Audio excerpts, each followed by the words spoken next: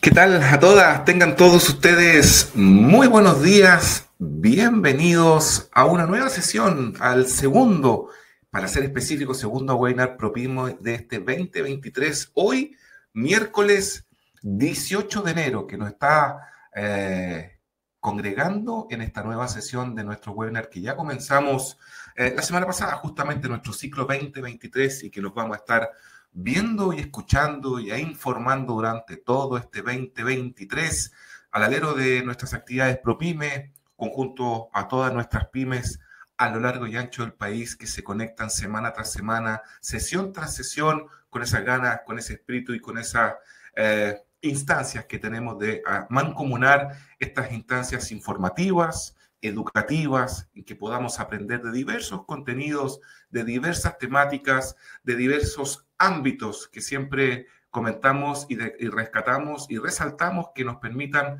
con esta información, ¿por qué no? Ojalá sumar un neto de arena en nuestros negocios, eh, desarrollarlos en nuestros negocios con este viento tan en contra que está a nivel macroeconómico, a nivel mundial y en específico en nuestro país y que nos permita eh, ir rebustuciendo un poquito más nuestras MIPIMES, nuestras pymes, nuestro emprendimiento a lo largo y ancho de nuestro país.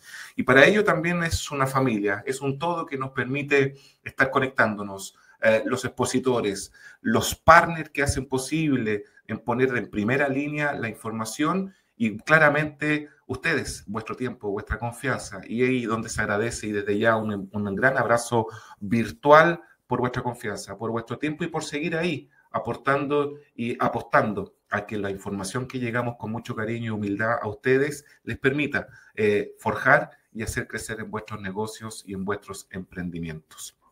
Hoy IVA en la prestación de servicios. Lo conversamos la semana pasada, les prometimos tener la visión del servicio de impuestos internos de primera fuente con algo que ya está en marcha, con esta ley que primero enero se hizo partícipe, que la semana pasada dejó este gusto en donde muchas clarificaron mucho con Marcelo desde la postura, desde su expertise, pero que quedaron algunas cosas desde el punto de vista poco claras o quizás no eh, abarcando desde esa manera. Y es por eso que logramos con, lograr un esfuerzo de, de, organización y además la voluntad y disposición del equipo de servicio de impuestos internos en que vamos a estar en un ratito más con Pedro Riquelme, fiscalizador tributario del gabinete de la Subdirección de la Asistencia al Contribuyente, y Oscar Bizama, jefe de área de documentos tributarios electrónicos del Servicio de Impuestos Internos, que vamos a estar conversando una sesión única con este tema. Vamos a tener el tiempo suficiente para aprender, para volver a informarnos, para eh, reforzar las ideas que vimos la semana pasada y también al final, como siempre, ir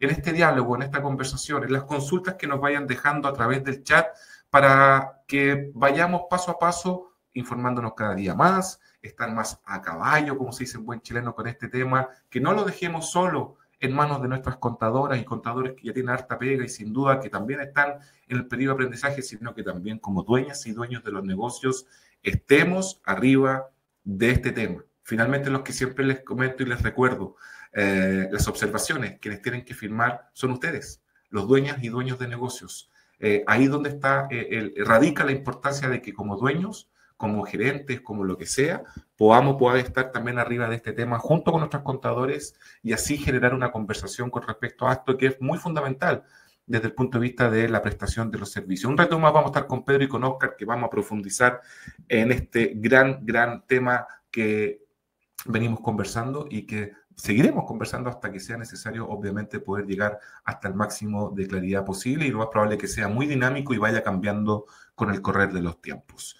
Antes de comenzar, siempre es bueno recordar que tengamos una buena experiencia. Dicen que una buena experiencia invita a otra, a otra buena experiencia. Y es por eso que tener una buena experiencia significa una buena transmisión del webinar, ¿no? Que estén escuchando, que estén viendo eh, todo lo que se escuche y vean eh, lo que están haciendo hoy día es eh, gracias al Internet pasa a ser obviamente sumamente importante la conexión de internet, internet, que tengan cada una y uno de ustedes donde estén tomando este, este webinar y que ya a través del chat veo que nos van diciendo dónde se están conectando. Así que veo que a lo largo y ancho del país estamos conectando y es por eso que esa conexión pasa a ser fundamental. La primera instancia que tenemos, si es que dejamos de escuchar o se empieza a escuchar intermitente o definitivamente se corta, es que eh, la plataforma arriba les aparece un botón reconectar que les permite ir reconectándolo cuantas veces sea necesario para que luego de pensar un par de segundos como que se amarree eh, la conexión. Conexión que al estar compartiendo con más equipo del trabajo, con la familia, con donde estén, eh, en la red Wi-Fi, con algún hijo, algún, alguien que esté ocupando YouTube, Netflix o que ocupe mucho conexión de Internet, hace que se debilite y ese debilitamiento hace que dejen de escuchar o simplemente dejen de ver. Por eso ese botón reconectar les permite reconectarse y pensar luego de algunos segundos y, como les digo, sacudir un poco esa conexión para lograr una mejor estabilidad.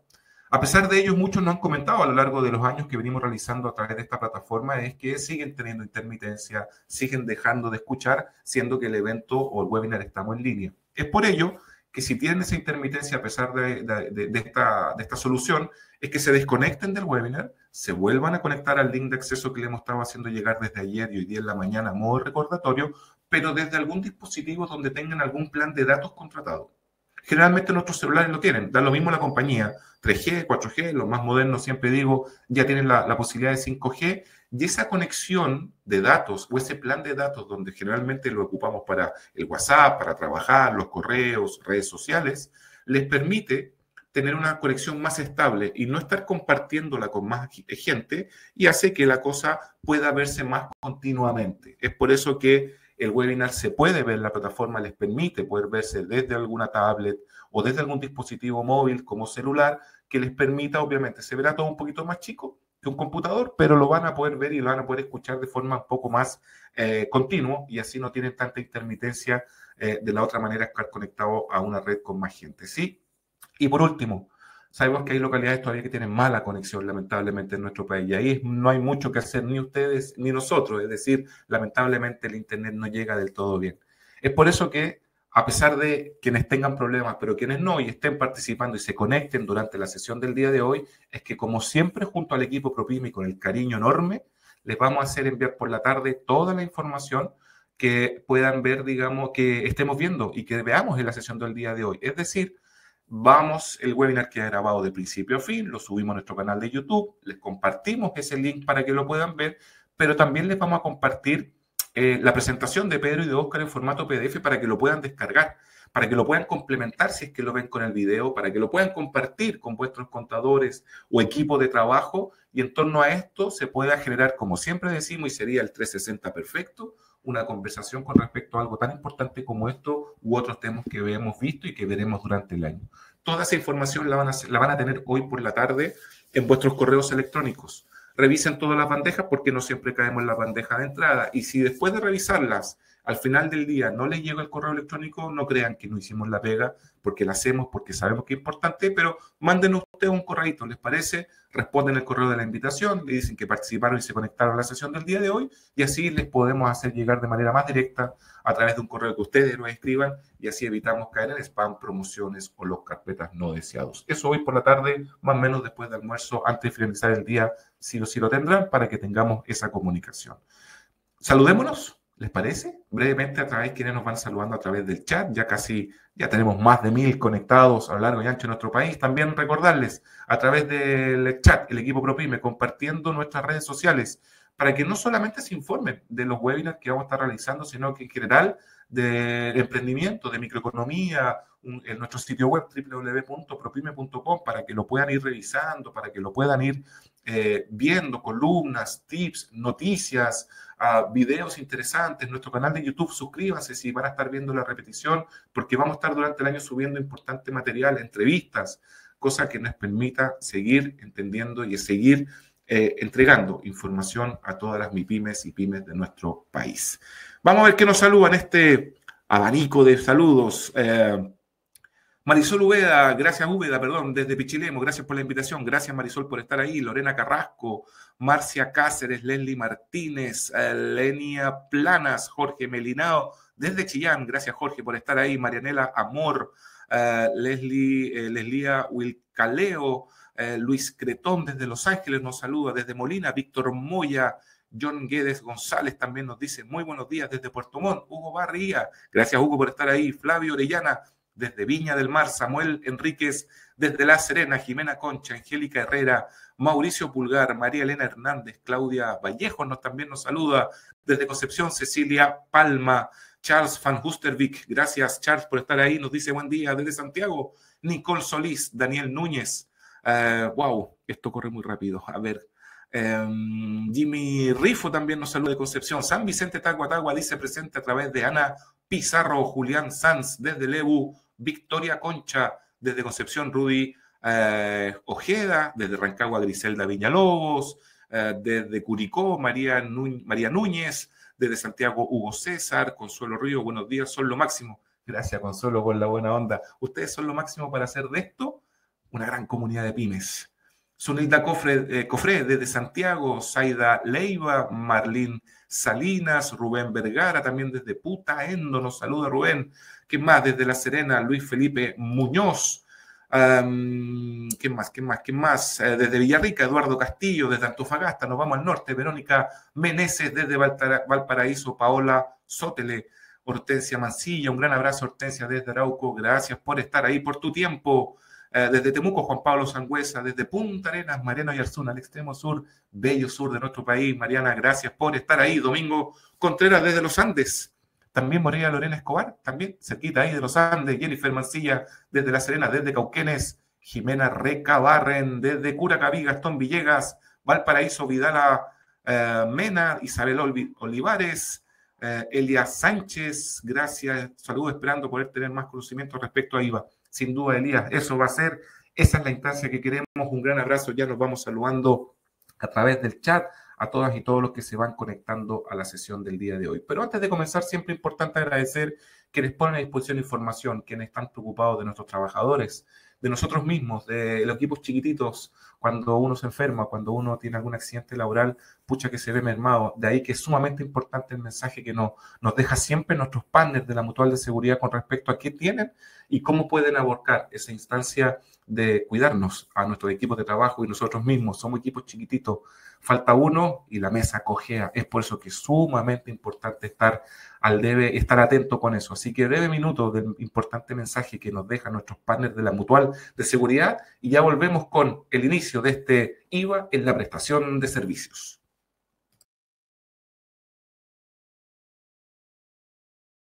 En Mutual buscamos proteger a todos los trabajadores del país, en especial a los de las pymes y emprendimientos, además de los independientes, a quienes prestan servicios en plataformas digitales y a las trabajadoras de casa particular, entregándoles la cobertura del seguro obligatorio de accidentes del trabajo y enfermedades profesionales. Así, en el caso que ocurra un accidente del trabajo o enfermedad profesional, cubrimos todas las prestaciones médicas necesarias para la recuperación del trabajador o trabajadora, además del pago de su licencia médica desde el primer día y durante todo el tiempo que no pueda trabajar. Yo no lo sabía. También contamos con un completo equipo multidisciplinario y especialistas en trauma y rehabilitación, desde Arica a Tierra del Fuego, para atender a los trabajadores donde sea que se encuentren. Buscamos evitar accidentes y enfermedades profesionales a través de nuestro plan de prevención en terreno, con capacitaciones online y presenciales para proteger a los trabajadores en cualquier labor que desempeñen. Y yo no lo sabía.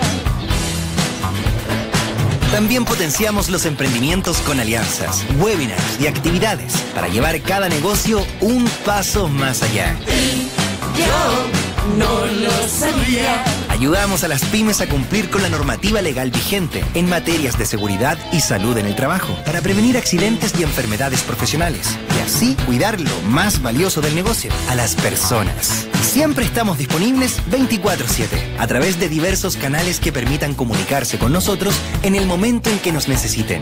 Qué, bueno, saberlo, qué, bueno tenerlo. Mutual de Seguridad.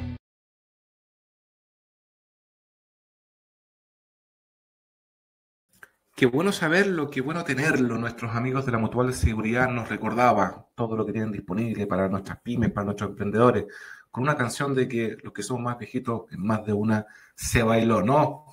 Qué bueno saberlo, qué bueno tenerlo. La Mutual de Seguridad nos recuerda y gracias por ese importante mensaje y recordatorio de lo que tienen disponible para ello.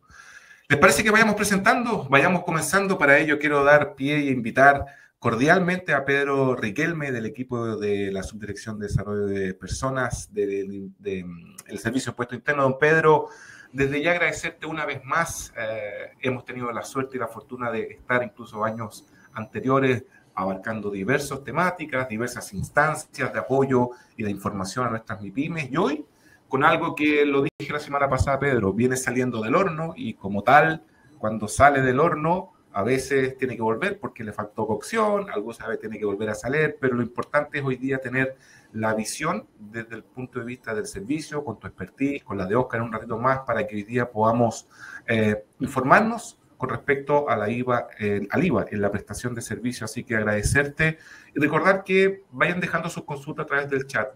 Vamos a ser muchos conectados, aclararlas todas va a ser imposible, se los comento desde ya, no por no querer, sino por un tema de tiempo y de alcance, porque la verdad es que es mucho. Pero lo que vamos a generar con Pedro y con Oscar es que vamos a estar viendo el chat, vamos a ir recopilando la información, las que se repitan, los casos que sean importantes de destacar. La presentación de Pedro y Oscar está muy dinámica, está muy instructiva, está muy fácil y desde esa perspectiva para que vayamos y finalmente generemos la instancia de también ser al final de esto bastante más proactivo desde el punto de vista de adquirir esa información. Así que vamos a estar atentos al chat con las consultas. Y Pedro, te envío un gran, gran abrazo a nombre del equipo ProPyme. Gracias por la disposición, por la buena onda de siempre.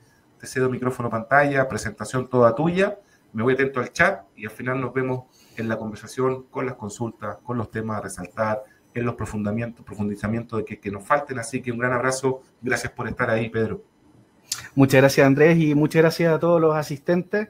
Eh, personalmente, un gusto eh, poder estar en este tipo de instancias nuevamente con ProPyme, eh, que sin duda ayudan a que nuestro rol institucional de facilitar el cumplimiento tributario sea mucho, mucho más asequible.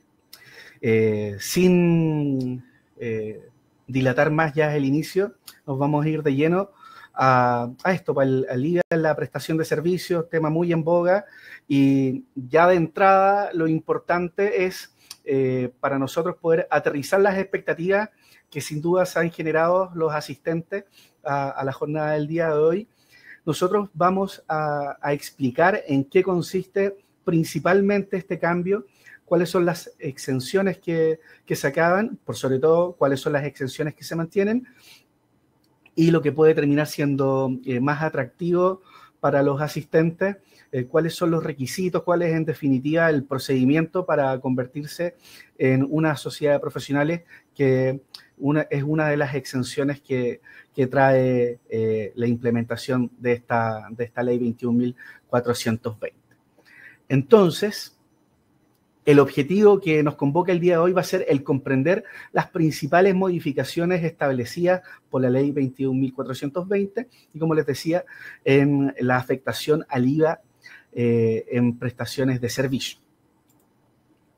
Vamos a dividir la actividad del día de hoy en tres grandes tópicos y posteriormente vamos a pasar a, esta ronda de preguntas que sin duda eh, va a ser la, parte más atractiva para ustedes, en donde desde ya los invitamos a que sigan participando activamente en el chat.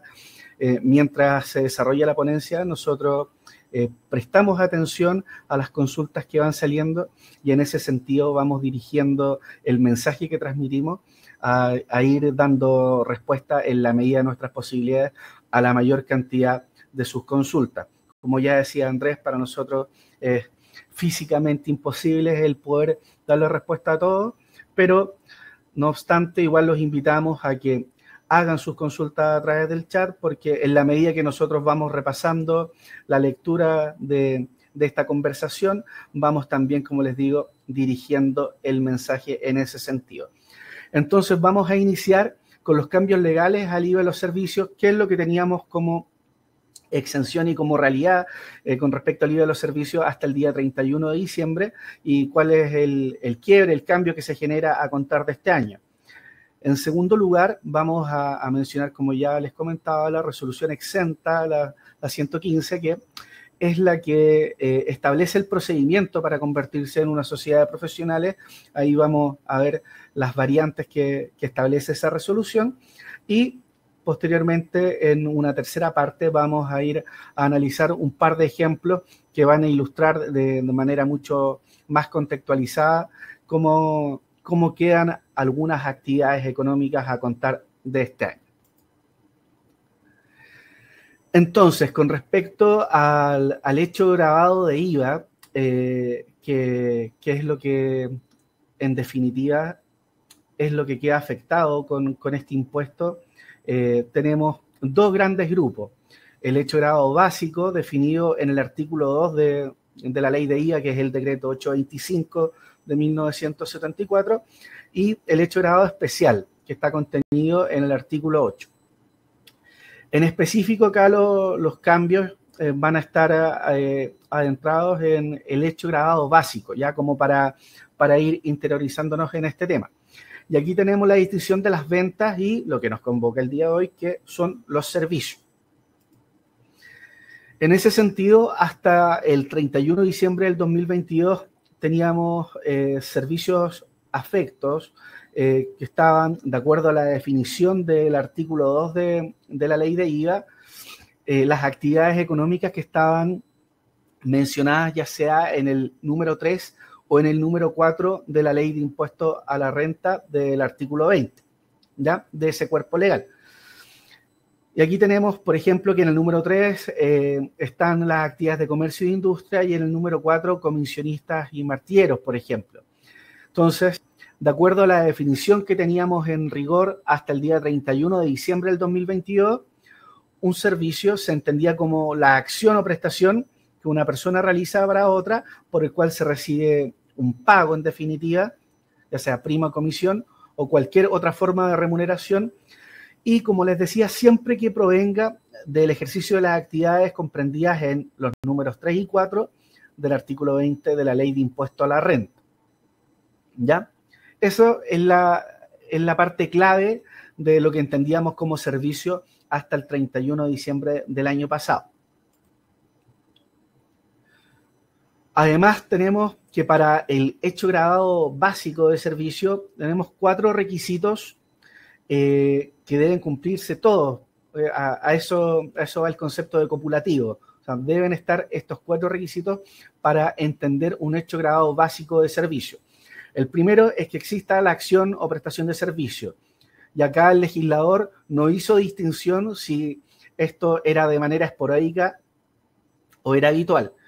¿ya? Siempre que hubiese una prestación de, una acción de una persona a otra eh, y había un pago de por medio, eh, iba, iba a entenderse que esto iba a estar afecto a IVA. Entonces ahí también mencionamos el segundo de los requisitos que se persiga como ya hemos mencionado, un pago, interés, prima o cualquier otro tipo de remuneración.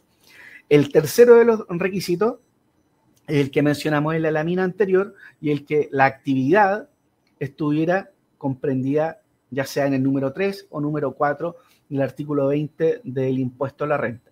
Y por último, para entender un hecho grabado básico de servicio, es que este servicio sea prestado o utilizado en Chile, ¿ya? Esa era la, definición que teníamos, de hecho, grabado básico de servicio hasta el 31 de diciembre del año pasado. Además de, de, la definición de hecho grabado, vamos a mencionar los servicios exentos que estaban hasta el día 31 de diciembre del año pasado. O sea, las exenciones que vamos a mencionar a continuación estaban hasta el año pasado y lo importante es destacar que estas exenciones continúan este año. Ya las exenciones del artículo 12 y del artículo 13 de la ley de IVA permanecen. Ya eso es súper importante. O sea, en estricto rigor, al día de hoy entendemos que todos los servicios están afectos a IVA, salvo los que la ley ya definió que quedaron exentos. Ya eso, si pudiera resumir eh, la ponencia de hoy en una frase sería esa. Todos los servicios, por definición, están afectos a IVA, salvo los que la propia ley dejó exentos. Y aquí tenemos eh, el caso de lo que se menciona en el artículo 12 y artículo 13 de la ley de IVA. Entonces, teníamos actividades exentas, por ejemplo, las entradas de espectáculos, eh, que el Ministerio de las Culturas catalogue eh, vía resolución como un espectáculo cultural, las entradas de espectáculos en ese sentido estarían exentas de IVA.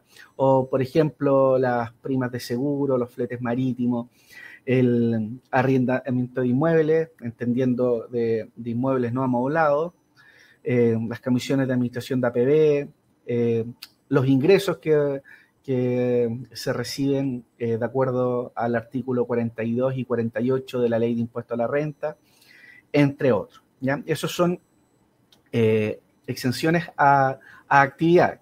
Y tenemos además otras exenciones que existían al 31 de diciembre del 2022 y que reitero, permanecen vigentes luego de la entrada en vigencia de la ley 21.420, que son ah, actividades específicas, por ejemplo, de la polla chilena, la Lotería de Concepción, Casa Moneda Correos de Chile, los hospitales del Estado, los establecimientos de educación, universidades del Estado, entre otros, ¿cierto? Antes de, pasar al, tema que, nos convoca, que son las modificaciones que establece la ley 21.420, vamos a hacer un pequeño resumen, eh, pensando principalmente en quienes eh, se vienen recién incorporando a esta actividad. Entendemos que el hecho grabado básico de servicio tiene que cumplir cuatro requisitos. Hay la prestación de un servicio, sea habitual o no, hay un pago de por medio.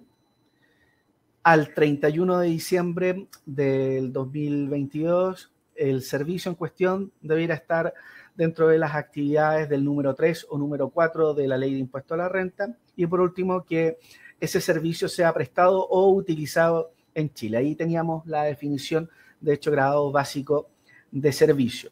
Y además, al 31 de diciembre del 2022 teníamos exenciones, eh, exenciones de IVA contempladas en los artículos 12 y 13 del decreto ley 825 del año 74, que es la ley de IVA. Y lo más importante es que esas exenciones permanecen a contar de este año, o sea, siguen vigentes. Entonces, Ahora, vamos a pasar de lleno a las modificaciones que se establece a la ley de IVA.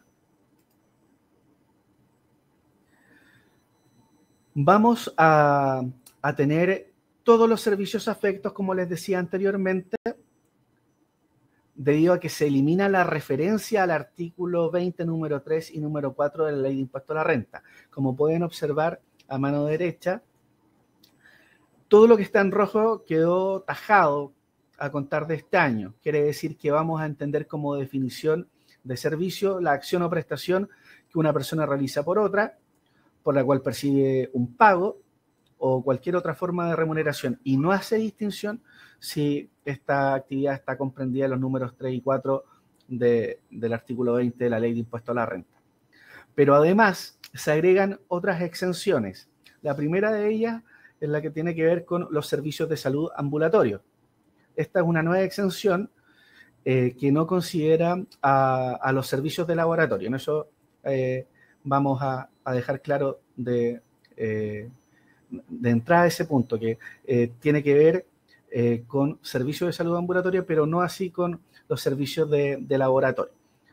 Para quienes estén interesados en, en, esta área en específico, la invitación es a que visiten el sitio de impuestos internos hay un apartado dedicado eh, con respecto al IVA de los servicios y eh, para quienes aún quieren profundizar el conocimiento, en la página eh, no solamente podrán encontrar las resoluciones y las circulares, también en la jurisprudencia administrativa van a poder tener acceso a pronunciamientos particulares que el servicio genera ante las consultas de los contribuyentes. Entonces, la invitación desde ya es a que utilicen los canales de información que están disponibles por nuestra institución y si la información que está disponible a la fecha no satisface sus dudas, eh, pueden canalizar estas inquietudes a través del mismo portal.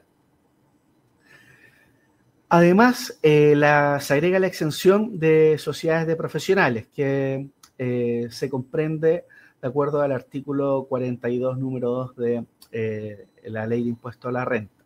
Y vamos a, ver en los próximos minutos más a cabalidad lo referente a las sociedades de profesionales.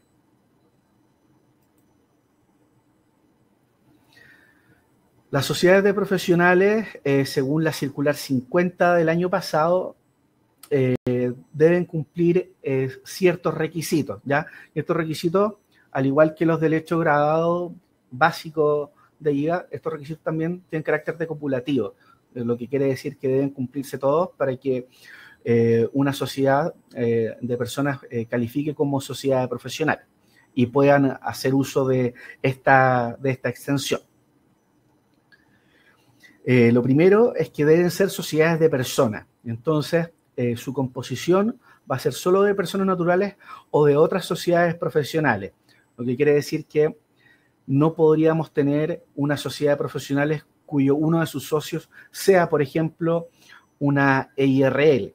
Deben ser todos los socios, eh, ya sea personas naturales, reitero, o otras, otras sociedades de profesionales. Eh, a modo de ejemplo, en la mañana acabo de, contestar una consulta a un contribuyente que él como persona natural es socio de una sociedad de profesionales, pero a la vez es socio de su EIRL, el único socio. Entonces tenía la duda de si debía dejar de ser socio de su EIRL, en definitiva, si tenía que hacer término de giro de esta EIRL para no perder la exención de la sociedad profesional. Y acá vamos a aclarar que se refiere a la malla societaria de la sociedad de profesionales. No, no, la exención no, no llega a, al individuo. O sea, si la persona natural que es socia de una sociedad de profesionales, él puede ser socio ya sea de una sociedad anónima, de una SPA, de una IRL, pero eso no va a hacer perder la exención a las sociedades profesionales. Lo que sí, la malla societaria de las sociedades profesionales debe estar solo constituida de personas naturales o, como ya le decía, de sociedades profesionales. Otro punto súper importante y que es necesario ser enfático es que las sociedades de profesionales, para cumplir todos los requisitos, deben tener un giro exclusivo. Y el giro exclusivo va a ser, obviamente, la prestación de estos servicios profesionales. Entonces, en consecuencia, una sociedad de profesionales no va a poder comercializar, porque solo va a tener un giro de prestación de servicio, no, no vendería productos. Además, eh, todos los socios de la sociedad de profesionales deben trabajar en la sociedad de profesionales. Y acá vamos a, explicar un poquito más en profundidad. Por ejemplo, tenemos una sociedad de profesionales en donde eh, son solo médicos, por ejemplo. Todos los médicos deben ayudar en el objeto social, la prestación de servicios. No podría haber un médico que es socio, pero que no trabaja para la sociedad. ¿ya? No podría haber en ese sentido solo un médico que aporte el capital, pero que no trabaje en esa sociedad. Y por último, todos los socios deben tener eh, profesiones eh, u oficios eh, afines al objeto social. ¿ya? Y en este punto es importante destacar que eh, no se hace eh, distinción si deben ser eh, solo títulos profesionales, ¿ya? Si bien hablamos de sociedades profesionales, pueden haberlas conformadas por personas que poseen títulos que los habilitan para realizar actividades no profesionales, ¿ya? Si, si alguno de ustedes realiza alguna actividad que no es profesional, a priori no se podría eh, dejar fuera de la conformación de una sociedad de profesionales, ¿ya? Lo importante es poder eh, distinguir en profundidad cuál es la actividad que realiza y cuál es el nivel de certificación con el que está amparado para realizar eh, esa técnica u oficio, ¿ya? Y volviendo al punto anterior, cuando decimos que todos los socios deben trabajar para la sociedad, esto no excluye que la sociedad de profesionales emplee a otros trabajadores que no sean socios, ¿ya? El requisito es que todos los socios trabajen para la sociedad, pero eso no impide que además contraten a otras personas que, reitero, no sean socios de la sociedad.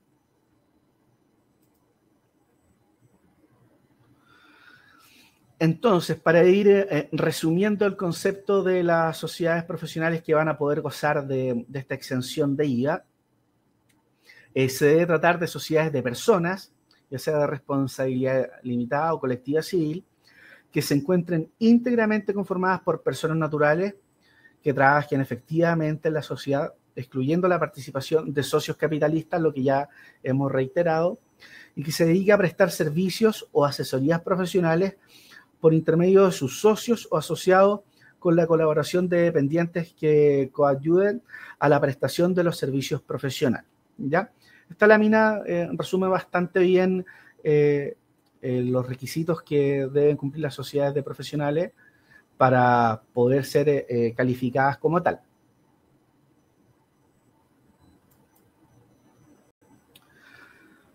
Antes de, seguir con uh, la resolución 115 uh, del 2022, que es la que establece eh, un proceso extraordinario para estar registrado como sociedad de profesionales, un proceso ordinario, cuáles son las ah, eh, acciones de facilitación por parte de esta institución para el cumplimiento tributario, vamos a nuevamente hacer un pequeño resumen recapitulando eh, los puntos más importantes tocados hasta el momento.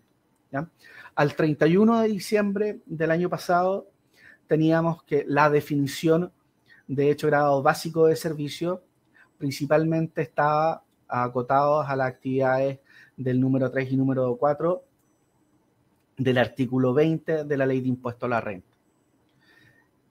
A contar de este año, esa frase se elimina de la definición y en consecuencia todos los servicios quedan afectos a IVA, salvo las exenciones que ya venían contempladas al 31 de diciembre del 2022 y que se mantienen a contar de este año. Y además se agregan dos exenciones, la primera de ellas relacionada con la salud ambulatoria y la segunda relacionada con las sociedades de profesionales que ya vimos cuáles son los requisitos que debe cumplir el contribuyente para poder calificar como sociedad de profesionales, tener giro único, que todos los socios trabajen para la sociedad, o sea, no hay, no hay socios que sean solo capitalistas, eh, que los socios posean un título afín en relacionado con el objeto social y que todos los socios sean personas naturales o, a su vez, otras sociedades de personas. Entonces, vamos a ver en detalle la resolución 115 del 2022. La resolución 115 está dividida en cinco resolutivos, ¿ya? Los tres primeros tienen que ver eh, con el procedimiento extraordinario, procedimiento que se inició desde el 1 de enero de este año y que va a terminar al día 30 de junio de este año, un proceso que es extraordinario y que es único de momento. Ya no, no va a haber otro, otro, otro proceso extraordinario el año 2024, de acuerdo a la normativa vigente. En el resolutivo número 2 vamos a tocar el procedimiento ordinario para registrarse como sociedad de profesionales, procedimiento que, que sí va a estar eh, vigente año a año y que también eh, se inicia el 1 de enero y se cierra el 31 de marzo de cada año. Y ahí también vamos a ver cuáles son las características de ese procedimiento ordinario. En el resolutivo número 3 se mencionarán los documentos tributarios que deberán emitir los contribuyentes que califican como sociedades profesionales, distinguiendo si van a tributar en primera o segunda categoría. Además, eh, en el resolutivo 4 vamos a ver las acciones de facilitación contempladas en la resolución eh, eh, y que hacen, entre comillas, más sencillo esta etapa de transición para los contribuyentes que pasaron estar exentos de IVA a quedar afectos a IVA a contar del 1 de enero de este año. Y por último, en el resolutivo número 5 mencionaremos a grosso modo las acciones de fiscalización pertinentes por parte de nuestra institución. Entonces, con respecto al primer resolutivo, a lo, que tiene que ver con este procedimiento extraordinario de registro de sociedades profesionales, como ya les comentaba en la lámina anterior, está disponible en nuestro sitio web a contar del 1 de enero y va a estar en ese sentido disponible hasta el 30 de junio de este año. Los requisitos para, para acceder a este procedimiento eh, son, eh, en primer lugar, ser una sociedad profesional, perdón, una sociedad de responsabilidad limitada o colectiva civil, como ya lo veníamos comentando en las láminas anteriores. En segundo lugar, que todos sus socios deben ser personas naturales o sociedades eh, de profesionales, no siendo requisito adjuntar los títulos. Y eso es súper importante de este procedimiento extraordinario. ¿ya? En definitiva, es una declaración jurada del contribuyente en donde no se le solicita que eh, adjunte mayores antecedentes, solo que complete esta declaración y si cumple todos los requisitos de acuerdo a, lo que estamos viendo, va a quedar eh, automáticamente registrada como una, sociedad profesional, eh, sin mayor trámite. Y tercer requisito, no haber emitido documentos a efectos IVA a contar de enero del 2022. Y si lo hizo, va a tener que hacer término de giro por las actividades de primera categoría y luego eh, realizar eh, el registro como sociedad profesional.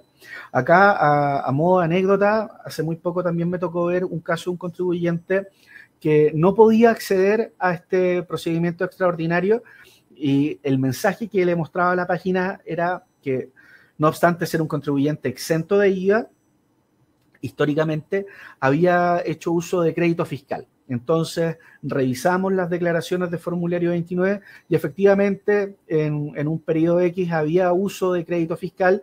Eh, nos contactamos con el contribuyente, el contribuyente modificó ese formulario 29 y al día siguiente ya el sistema le permitió, eh, sin mayor trámite, eh, acceder al procedimiento extraordinario y al día de hoy ya cuenta con la anotación que indica que es una sociedad de profesionales que decidió tributar en primera categoría. Ya como a modo de anécdota, eso quiere decir que en algunos casos podrían ustedes enfrentarse a ciertos inconvenientes, pero si estos son subsanados, eh, van a poder acceder sin mayor trámite al procedimiento extraordinario.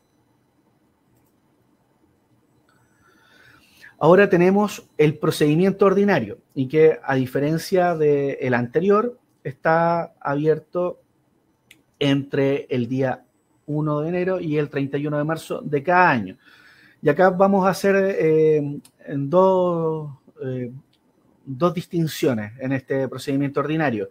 El contribuyente puede eh, acogerse a él al, inicio de actividades dentro de los dos meses siguientes al, inicio de sus actividades, en donde debe sí aportar antecedentes, como por ejemplo eh, la escritura de constitución o las modificaciones que haya realizado la misma, eh, también, que es importante en este procedimiento ordinario, que se adjunten los títulos profesionales o no profesionales, como comentábamos anteriormente, de cada uno de los socios y se debe completar también una declaración jurada si opta a tributar conforme a las normas de primera o de segunda categoría. ¿Ya? Eh, esto, al momento del inicio de actividades, el contribuyente tiene eh, la opción dentro de los dos meses siguientes al inicio de las actividades. ¿Ya? Y tenemos el, eh, el procedimiento ordinario cuando el contribuyente ya lleva cierto tiempo ejerciendo. Esto sí tiene que ver con con este, con este plazo que ya les mencionaba, entre el 1 de enero y el 31 de marzo de cada año, en donde también a través de, petición administrativa, materia registro de sociedades profesionales, cumpliendo los mismos requisitos que, vimos anteriormente, eh, debe aportar antecedentes. Entonces, también debe eh, adjuntar la constitución o la modificación de la escritura de, constitución de la sociedad los títulos profesionales o no profesionales, la declaración jurada en donde se opta a tributar en primera o segunda categoría y acá se agrega, como entendemos que el contribuyente lleva tiempo operando, de adjuntar el balance inicial de la sociedad según el último balance practicado antes de la opción. Ya eso también es importante tenerlo en cuenta que es un antecedente adicional que se agrega cuando el contribuyente opta eh, dentro de los tres primeros meses del año, cuando ya lleva eh, más de dos meses de, funcionamiento.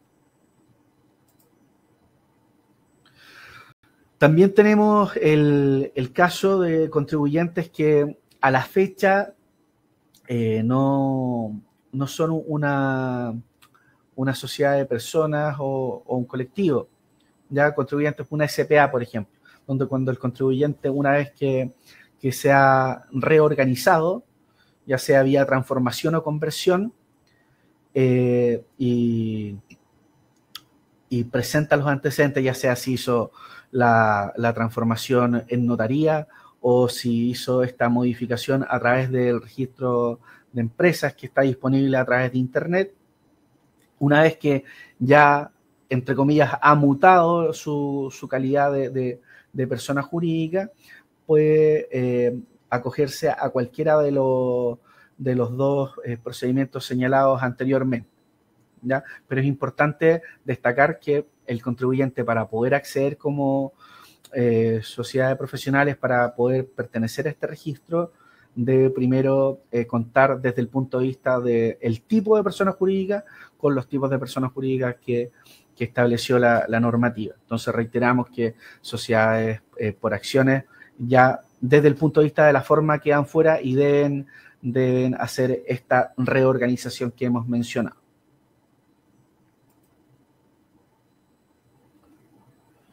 Eh, a continuación, Oscar nos va a relatar el resolutivo número 3 de, de la resolución 115. Así que ahí, ahí lo dejamos. Muchas gracias. Hola, buenos días a todos. Eh, gracias, Pedro. Eh, me toca exponer la parte de documentación tributaria.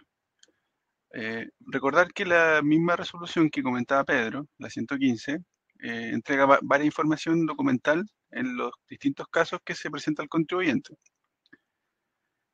En este primer caso que, vamos que voy a comentar, es el, contribuyente que optó, que es sociedad de profesionales y optó por tributar conforme a las normas, normas de primera categoría.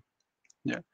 Acá existe una, una instrucción y además existe un plazo para seguir emitiendo eh, un documento que voy a explicar a continuación. Las sociedades profesionales deben emitir factura o boleta exenta en formato electrónico. Recordar que hoy en día todos los documentos están eh, por ley obligados a emitir en formato electrónico. Entonces, los contribuyentes que son sociedades profesionales y que optan por tributar con normas de primera categoría, deben emitir factura o boleta exenta dependiendo a quién le van a emitir el documento. De todas formas, nuestro servicio dio un plazo de seis meses, es decir, hasta el 30 de junio, para implementar esta solución, dado que no todos los contribuyentes estaban inscritos en factura o no estaban inscritos en boleta. Entonces se otorga un plazo de seis meses para que el contribuyente pueda seguir emitiendo sus boletas de honorario eh, electrónicas también eh, por, esos, servicios.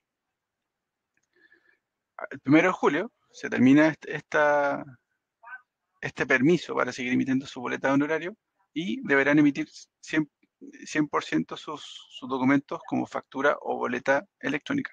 ¿ya? Para el contribuyente, sociedades profesionales, que optó por seguir tributando con norma de segunda categoría, estos emitirán sus VHE, sus boletas de honorario electrónica, como lo hace habitualmente. Para ellos no hay mayores cambios. Entonces, en resumen, el contribuyente que, que está inscrito como sociedad profesionales o, va a hacer la inscripción como sociedad profesionales, puede seguir emitiendo boletas de honorario electrónicas hasta el 30 de junio o emitir factura o boleta inscribiéndose en los sistemas correspondientes. Eh, adicionalmente, la, misma resolución, en el resolutivo cuarto, entregó algunas facilitaciones a los contribuyentes para que este cambio de la modalidad de emisión de documentos fuera eh, lo más simple posible para el contribuyente. ¿Qué hizo nuestro servicio? En primer lugar, cambió las características de las, de las actividades económicas que van a cambiar. se publicaron en el sitio web, en el portal de IVA a los servicios, sistémicamente, todos los contribuyentes que tenían estas actividades económicas, se les hizo estas modificaciones en sus datos. Por otro lado, los contribuyentes que actualmente utilizaban factura exenta hasta el 31 de diciembre, el servicio le habilitó el documento factura afecta en forma, en forma automática a contar del 1 de enero del 2023. ¿Ya? Con esto, el contribuyente ya desde el 1 de enero podía emitir la factura electrónica afecta. Este no es el caso de sociedad profesional, este es el caso que el contribuyente era exento y por el cambio de, de la ley pasó a ser afecto. Entonces debe emitir el documento afecto tanto factura o boleta. Adicionalmente a eso, nuestro servicio tiene como condición o requisito para emitir este documento eh, que, el contribuyente haya sido verificado en su domicilio o en, su información de, que, aparece en nuestro servicio de, su actividad económica. Para esos contribuyentes se, se dejó el indicador de verificación de actividades en, un estado que permita emitir la factura, sin tener que ir al servicio o a través del sitio web para solicitar este, esta verificación. Esto es una medida para que el contribuyente no tuviera problemas para emitir factura afecta a contar del 1 de enero. Para los contribuyentes que emitían boleta, boleta de venta de servicios, también se le habilitó el documento boleta de venta de servicios afecta. Recordar que eh, si un contribuyente emite a consumidor final, debe emitir boleta, y si le emite a un contribuyente, a una empresa, debe ser factura. Por eso se habla de factura y boleta, dependiendo del caso a quién, a quién le va destinado el, el, producto o servicio. Y como última medida que, que, fue realizada la semana pasada, solo a quienes operan con sistema de facturación con, un software de mercado, es decir, no, no operan con, con, la página del servicio, se le, se le habilitó folios en forma masiva, electrónicos, para que pudieran emitir el documento factura afecta eh, sin problema. ¿Qué pasaba? Que al activar el documento eh, afecto, algunos contribuyentes le, le daban pocos, pocos folios a esta aplicación porque no había historia de documentación afecta en el pasado. Entonces lo que se hizo es simular la, emisión de documentos exentos del pasado y eh, emitir, perdón, cargar la misma cantidad o similar de, folios electrónicos para eh, el documento afecto para quienes operan con software de mercado. Estas cuatro medidas se hicieron eh, como, como medidas de facilitación a la mayoría de los contribuyentes que estaban vigentes y que tenían cierto movimiento durante el, año 2022 para que no tuvieran problemas en emitir su documentación electrónica. Eso con respecto a la documentación tributaria. Ahora, Pedro. Perfecto. Muchas gracias, Oscar. Entonces, eh, resumiendo eh, lo contemplado en la resolución 115, eh, que consta de, cinco resolutivos. Nosotros hemos expuesto cuatro. El quinto resolutivo dice que, no obstante, por ejemplo, esta, este tipo de facilitación contenida en el resolutivo 1 de este procedimiento extraordinario, el Servicio de Impuestos Internos con posterioridad tiene las facultades de fiscalización para corroborar que lo eh, informado en esa declaración jurada por parte del contribuyente sea efectivamente apegado a la realidad. Resumiendo entonces el, la resolución 115, eh, tenemos en el resolutivo número uno un procedimiento extraordinario, eh, único, de acuerdo a la legislación vigente, que está disponible en el portal institucional desde el 1 de, enero de este año hasta el 30 de junio, en donde completando esta declaración jurada eh, y cumpliendo con los requisitos establecidos en la ley, el contribuyente va a quedar con la calificación de sociedades profesionales, pudiendo acceder a la exención de IVA, ya sea tributando bajo las normas de primera o de segunda categoría y emitiendo, como dice el resolutivo número 3, el documento factura exenta o el documento boleta de honorario, eh, dependiendo del caso. Además, tenemos en el resolutivo número 2 el procedimiento que es ordinario, el cual el contribuyente puede acceder ya sea con dos, hasta dos meses eh, una vez constituido, o sea, lo hace desde el inicio de actividades, o si ya lleva más de ese tiempo en funcionamiento, de eh, hacerlo entre el día 1 de enero y el día 31 de marzo de, cada año. Eh, bien, en este caso sí de aportar antecedentes, en donde destacamos principalmente que en este caso sí se, se solicita que el contribuyente aporte los títulos profesionales o no profesionales que los habilitan para trabajar eh, de acuerdo a la actividad del objeto social. Y, destacamos también en el resolutivo número 4 en las acciones de facilitación que están eh, vigentes para los contribuyentes que han transitado desde actividades exentas a actividades afectas con el propósito, como hemos dicho desde el principio, de facilitar el cumplimiento tributario. Ahora vamos a analizar un par de ejemplos de actividades que eh, en esta transición del 31 de diciembre al 1 de enero eh, vamos a ver si eh, quedaron afectas o, exentas de acuerdo a, las exenciones vigentes y, de acuerdo en definitiva a, cómo cambió la definición de, de hecho grado básico de servicio. Tenemos, por ejemplo, los servicios eh, prestados por un establecimiento de educación, los cuales antes de, este año ya se encontraban exentos de IVA y como mencionamos en una de las primeras láminas, a contar del 1 de enero, siguen exentos de IVA, ya que eh, la, exención contenida en el número 4 del artículo 13 de, de la ley de IVA no ha sido modificada ya como decíamos, entre el artículo 12 y el artículo 13 de la ley de IVA, ya existían exenciones y esas exenciones reiteramos que no han sido modificadas. Lo que se modificó fue la definición de hecho grado de servicio y se agregaron un par de exenciones, la de salud ambulatoria y la relacionada con la sociedad de profesionales que ya hemos mencionado en el resolutivo 115. ¿Qué pasa con una SPA con giro comercial y servicios profesionales? Esta estaba exenta al 31 de diciembre del 2022, pero a contar de este año está afecta a IVA, ya que, como mencionamos anteriormente, no cumple con el requisito de prestar exclusivamente los servicios profesionales. Reiteramos que para calificar como sociedad de profesionales, estas deben tener un giro único. El giro único obviamente debe ser la prestación de los servicios profesionales.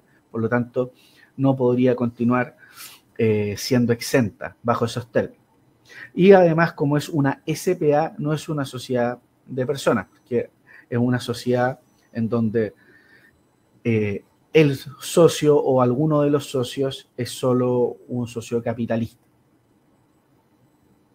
Y esto también, eh, como les decía al principio, eh, está ya contestado para consultas en particular en los oficios que se mencionan al pie de la lámina. Entonces, reitero la invitación a que se visite el sitio web, eh, principalmente el apartado relacionado con el IVA a los servicios y cuando las dudas no son resueltas en ese apartado, la invitación se extiende a que se visiten las preguntas frecuentes y con posterioridad, si la duda no fue resuelta en las preguntas frecuentes, se invita al contribuyente a que visite la jurisprudencia administrativa en donde pueden encontrar oficios como los que son mencionados al pie de esa lámina.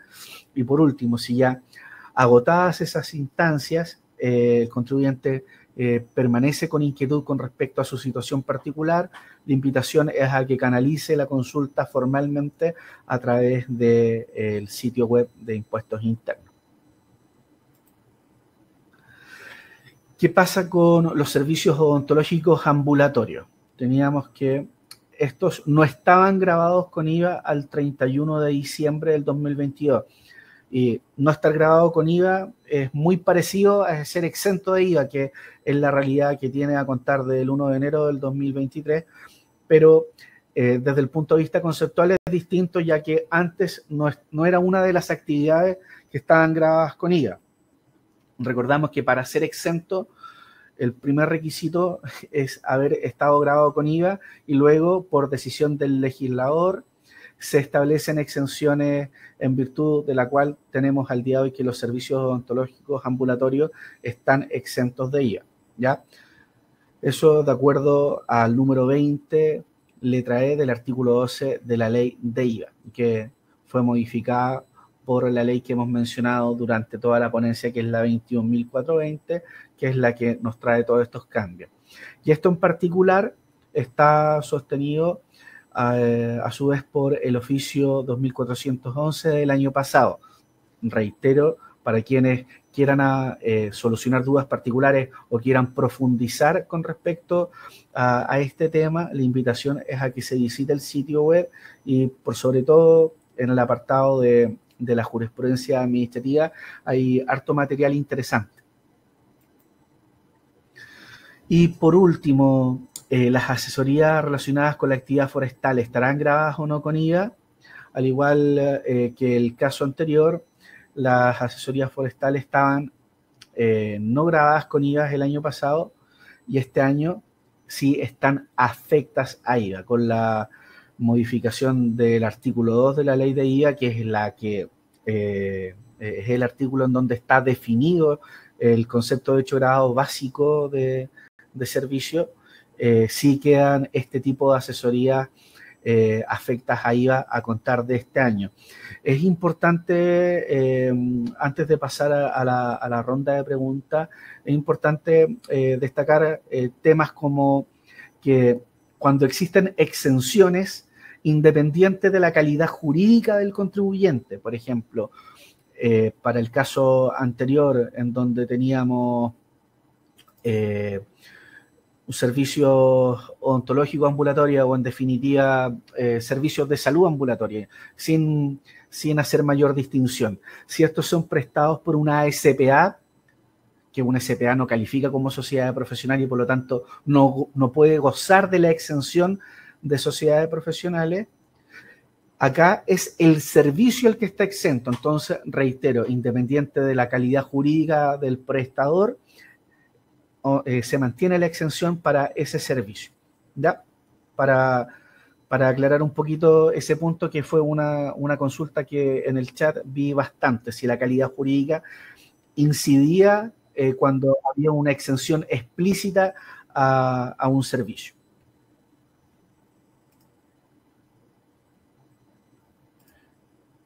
Muchas gracias eh, por, por sus consultas sobre todo y, pasemos a contestarlas. Pues. Genial, gracias Pedro, gracias Oscar por la presentación, por, por acercarnos a esta modificación en la ley número 21.420. Agradecer a todos los que se han ido conectando desde que comenzamos la sesión ya superamos la barrera de los 1.500 MIPIMES y pymes de lo largo y ancho del país que estamos conectados. Así que gracias a todas y todos los que se han ido sumando a la conversación por sus consultas que la hemos recopilando. Son varias, así que vamos a tratar de darle cabida a todo. Y desde esa perspectiva, recordarles simplemente quienes se conectaron más tarde y quienes lo hicieron a temprana, a temprana hora también van a tener en vuestros correos electrónicos toda la información que veamos y hayamos visto en la sesión del día de hoy, como siempre la grabación la vamos a subir a nuestro canal de YouTube, les vamos a compartir dicho link y también les vamos a hacer llegar la presentación de Pedro y Oscar en formato PDF para que lo puedan descargar, eh, tener esto en grande, ¿no? En sus computadores, que lo puedan descargar, compartir, conversar, compartir, valga la redundancia, con vuestros equipos, con contadoras y contadores que estén viendo el tema contable y así generar esa sinergia y esa conversación desde el punto de vista de eh, la... Em, el, tema visto en la, en la sesión del día de hoy. Vamos con las consultas, muchachos. Son varias. Vamos a ver cómo podemos abarcar desde algunos casos puntuales, Pedro, Oscar, y eso nos permitan a todos, obviamente, abarcar la mayor cantidad de situaciones e instancias en que están nuestras pymes del día de hoy. Vamos partiendo. María Díaz, gracias María. Una empresa individual, EIRL, que efectúa cuidados de pacientes a domicilio, ¿sigue exenta o cambia su situación? Perdón, una empresa individual. EIRL, claro, una empresa individual dice una EIRL que efectúa cuidados de pacientes a domicilio, ¿sigue exenta o cambia su situación? Eh, a priori, lo primero es revisar el código de actividad. ¿Ya? En nuestro sitio institucional hay un apartado con los códigos de actividad, porque más allá de cómo el contribuyente define en la glosa descriptiva la actividad económica que hace, él además hizo una elección de elegir un código de actividad. ¿ya? Revisamos con ese código de actividad si al día de hoy ese, esa actividad quedó afecta o exenta en primer lugar. ¿ya?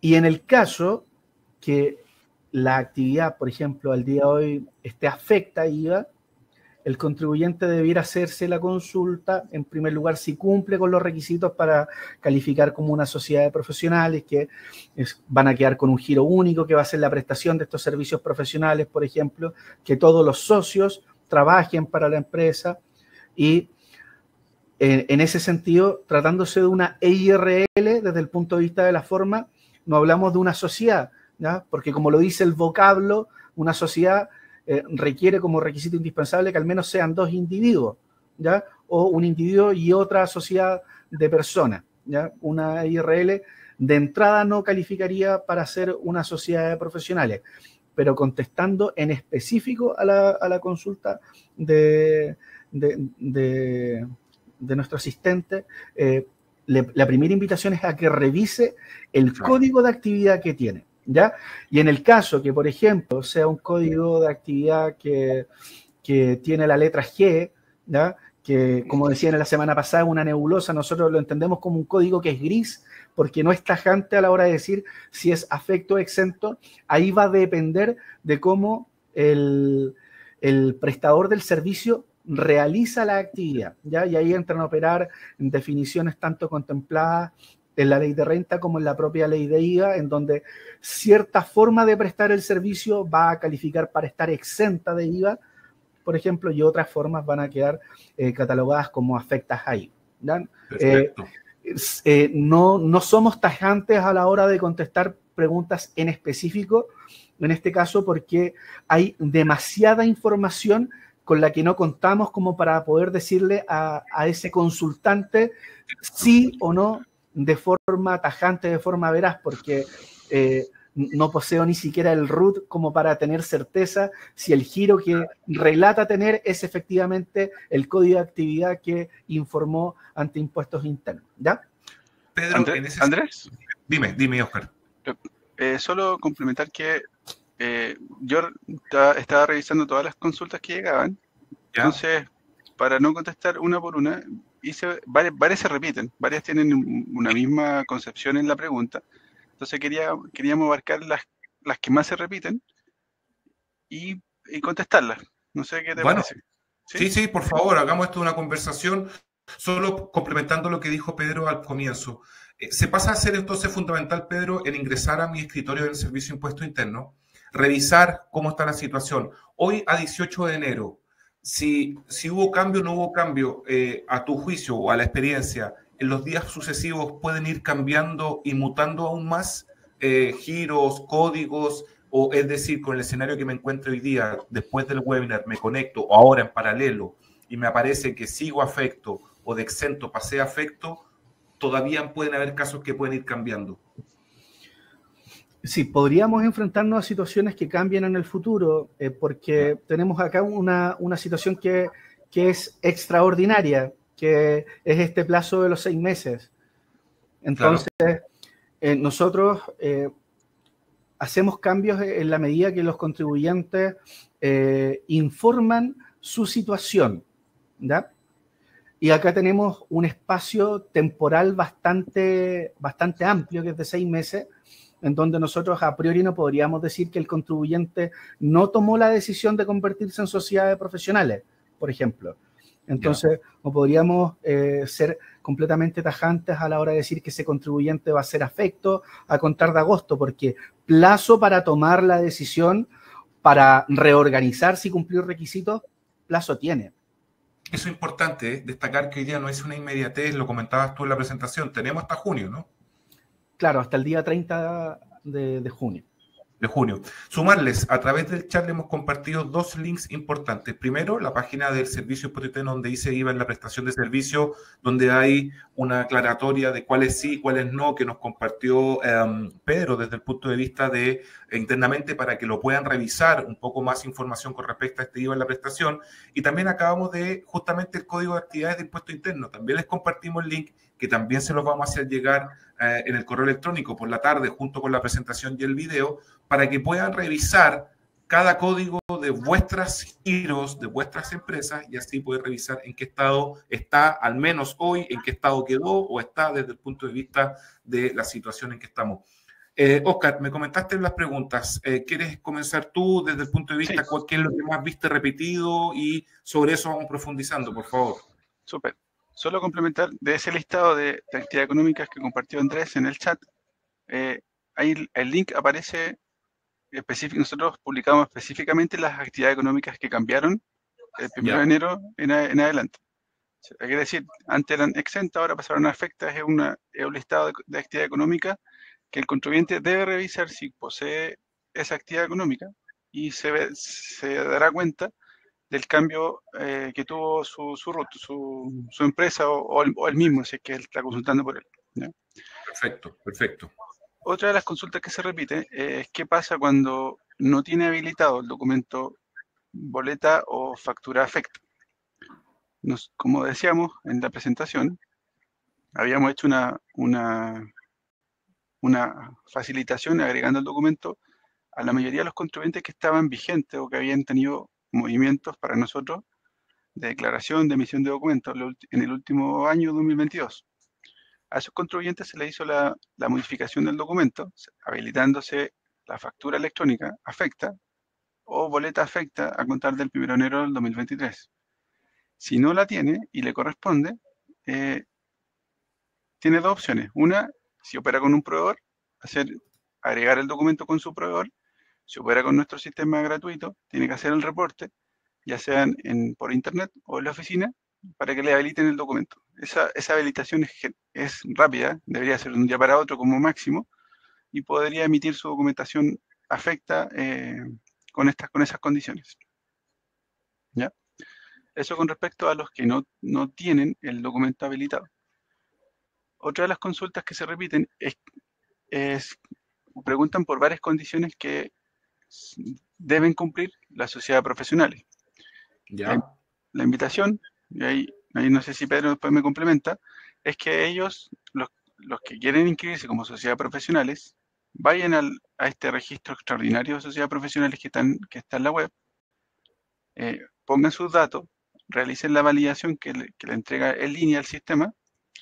Si cumplen, se pueden inscribir inmediatamente a través de, de la aplicación. Si cumplen y la aplicación les dice que no, pueden ir a la oficina a, a revisar presencialmente cuál es el, el, el antecedente o, o, el requisito que les, que les falta. ¿ya? Exist, existen esas dos vías para que el contribuyente se pueda inscribir como una sociedad de profesionales. ¿ya? Porque preguntaban qué pasa si me falta esto, si me falta esto otro. La, claro. En línea se, se entrega la información y en oficina obviamente se entrega verbalmente la, qué es lo que le falta o, o, qué debería hacer el contribuyente para hacer una sociedad profesionales. Perfecto. Y en ese sentido me gustaría agregar, eh, de la mano a lo que nos, nos, cuenta Oscar, que independiente si el contribuyente eh, se, se, inscribe eh, como sociedad de, de, profesionales, se registra como sociedad de profesionales, el último día que tiene eh, la chance para hacerlo, eh, acá lo, lo beneficioso es que queda desde el 1 de enero como sociedad de profesionales, ya queda desde el 1 de enero eh, exento. ¿ya? Entonces, por eso eh, sea todo este plazo tan extenso, precisamente porque eh, es una transición que no para todos va a ser tan fácil de implementar, por lo tanto, sea este plazo que, que, que eh, es más holgado, pero que independiente si eh, se pueden reorganizar en mayo, por ejemplo, y ahí cumplen con el requisito de ser eh, una, una, sociedad limitada, van a quedar exentos desde el día 1 de enero de este año. sin, sin tener que, correr riesgo de, pagar multas o rectificar eh, los periodos anteriores. Ya en eso también eh, queremos ser súper claros. Gracias, Pedro. La, otra pregunta que vi varias, varias veces se refieren específicamente a las a la empresas, a las APR, a la Sociedad de Aguas Potables Rurales. Eh, acá existe una, una resolución, no, no, no, hablo de IVA a los servicios, sino que hablo, hablo de una resolución que a las APR, a, las, a los comités o las sociedades o las asociaciones de, aguas potables rurales, que se me olvida la sigla, eh, ellos tienen una excepción hasta el 30 de noviembre de, este año para seguir emitiendo la boleta en papel. ¿ya? Ya. No tiene que ver con el IVA de los servicios probablemente tal. Correcto, perfecto. Hay una, se pueden transparentar porque hay una, una moción de hacer un cambio de ley a estos contribuyentes que está en, en, proceso. Está recién comenzando esa, esa línea de trabajo que a los contribuyentes les puede confundir que tiene que ver con el IVA de los servicios. Pero esta resolución que ya está publicada es solo autorización para emitir la boleta en papel. ¿ya? en este caso es afecta. Eh, voy a leer otra consulta que, me llegó, que la tengo acá anotada. Eh, dice, soy profesional independiente, pero además persona natural con giro agrícola. Para mis prestaciones profesionales puedo dar factura exenta sin necesidad de constituir una sociedad profesionales. Acá, como decía Pedro, el caso que, ustedes entregan en los chats son muy generales, no podemos responder como a ciencia cierta qué le corresponde emitir eh, con la información que ustedes nos entregan. Por eso es bueno que ustedes revisen sus, su actividad económica en el portal que indicamos anteriormente, vean qué les, qué les corresponde emitir cuáles, cuáles no, y eh, se pueden autoatender en nuestro sitio web. En la mayoría de los casos se podría dar ese, caso, que revisando su actividad económica se darán cuenta qué documentos deben emitir. Otra indicaba al pasar a sociedades profesionales, siguen emitiendo facturas exentas. Como decía Pedro en la presentación, y lo complementábamos también, las sociedades profesionales tienen plazo hasta el 30 de junio para emitir, pueden seguir emitiendo boletas de honorario electrónico. Pero si ya cuentan con la solución de factura exenta, lo pueden hacer desde ya, factura o boleta exenta. Pedro, y ahí, o sea, disculpa Oscar, eh, para meter la cuchara. Ahí la recomendación es, si ya pueden o está a través de, obviamente, el software del servicio que es gratuito y que está mucho más a la mano, el llamado es que ya se empieza a generar eh, desde ese cambio, esperar a última hora por algún cambio que pueda existir todavía en alguna circular. ¿Qué, ¿Cuál podría ser el llamado entendiendo que si hoy día ya está disponible, lo siga haciendo como venía haciéndolo o ya haga el cambio mientras antes mejor, llamémoslo así?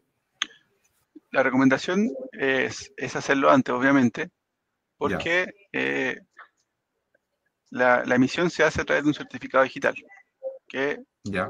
Tiene, un, tiene un costo eh, para el contribuyente, porque es una, nosotros le llamamos un carnet de identidad virtual, que tiene un costo entre 10 mil y 15 mil pesos anuales, dependiendo de la modalidad que se, que se utilice, para emitir facturas a través de nuestro sitio web. Si, bien la aplicación es gratuita, de, sí o sí se debe contar con un certificado digital para darle una seguridad y una veracidad al, al documento. La invitación es que no, esperen al, 30 de junio para hacer la, factura exenta o la boleta exenta y eh, se empiecen a inscribir en nuestro sistema que tenemos, tenemos a disposición de forma gratuita a los contribuyentes para que eh, comiencen a, emitir su documentación de forma definitiva. Perfecto, perfecto.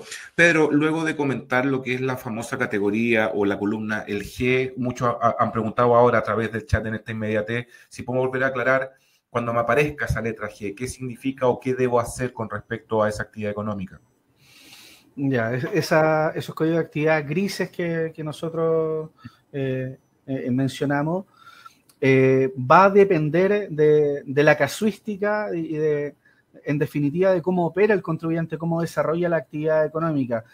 Eh, por ejemplo, quien realiza una actividad de, mantenimiento, por ejemplo, en principio podría ser una actividad eh, afecta IVA, ¿cierto? Pero eh, si es esta actividad de mantenimiento en primera categoría eh, cumple con lo establecido en, en una exención de IVA cuando realiza la actividad de mantenimiento en donde se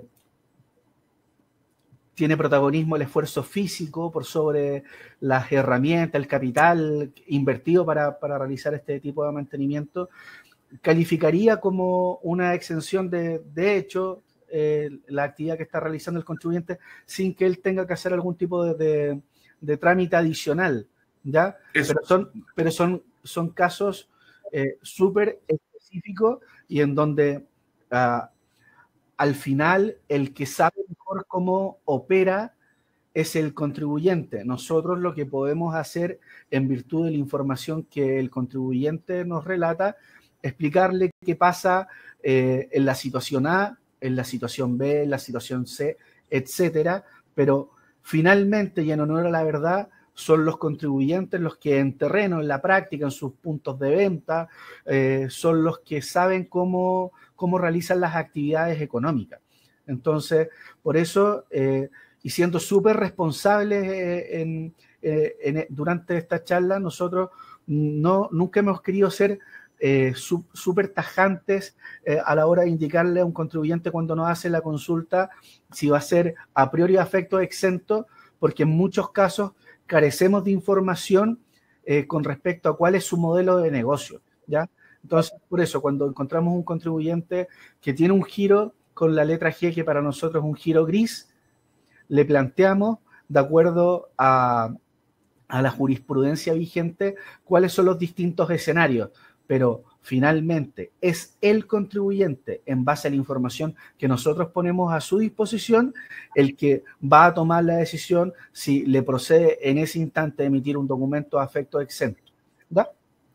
Perfecto. Sumamente importante también, Pedro, sumar a la, conversación es que en esos grises, que concuerdo con, o, lo, lo, que comentas que son los menos, entendiendo, digamos, cuál es, es que sí, como se dice mucho, no nos dejemos de estar que si bien queda a manos del contribuyente desde el punto de vista de definir el modelo y como tú bien eh, destacas, cómo me dedico al, giro de esa actividad, sí poder dejarlo, a lo mejor, corrígeme de forma clara y estipulado ante el servicio, alguna solicitud administrativa o yendo a alguna oficina, para que luego del 30 de junio, a partir del 1 de julio, no caigamos en una incongruencia que finalmente salga eh, peor, digamos, el escenario. O sea, es decir, no por efectos, corrígeme, de dejarlo solamente a una definición propia del contribuyente, es que también queden en corde con el servicio, ¿no?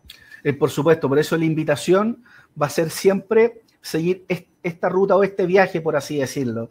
Visitar el sitio, en específico al tema, al tema contingente del IVA a los servicios, ver la folletería asociada, las preguntas frecuentes asociadas, en específico al IVA a los servicios, si ahí no se logra eh, encontrar la respuesta a la situación particular, el camino es ir al apartado de preguntas frecuentes, con posterioridad si en las preguntas frecuentes y en la legislación asociada no se logra tener un real entendimiento de cuál es la situación particular, ya el camino va a ser visitar.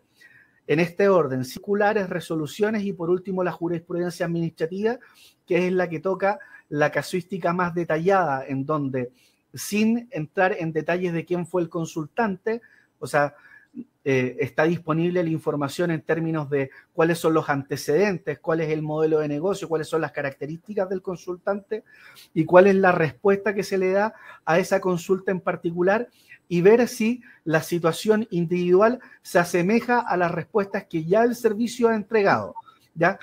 Si, agotando todas esas instancias el contribuyente no encuentra respuesta, no le queda claro cuál va a ser su correcta tributación, los invitamos a que canalicen la consulta a través ya sea de una petición administrativa, de un contacto web o de la consulta de interpretación de normas, todas opciones disponibles eh, para cada contribuyente, basta con que se validen con su root y clave en nuestro portal. Perfecto. Gracias, Pedro. Oscar, sigamos con las consultas. Vi muy a la pasada, a ver si no sé si lo tiene, las OTEX, los famosos organismos técnicos de capacitación. ¿En qué, queda, en qué, en qué escenario quedan? No, no la tengo en, las preguntas que se repetían, pero si tienes una. Ya. Sí, eh, por lo menos a pronto decía, digamos que, eh, espérame, lo tenía, lo tenía por acá. Eh, eh, eh, Dame un minuto. ¿Las OTEC quedan grabadas a IVA o siguen exentas, ya que es un servicio de capacitación? Hablamos más de término con el, del, del servicio tipo.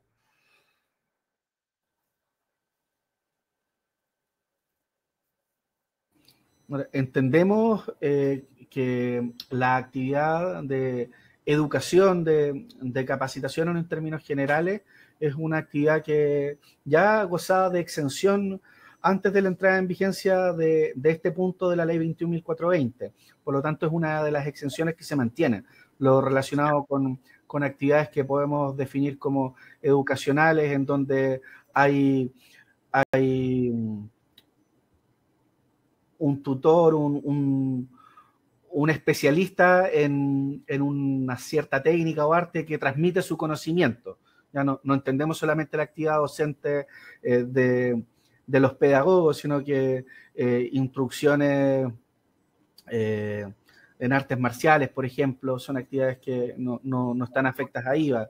un instructor en artes marciales podría tributar perfectamente en segunda categoría, emitiendo sus boletas de honorario. No, no es una actividad eh, grabada con IVA.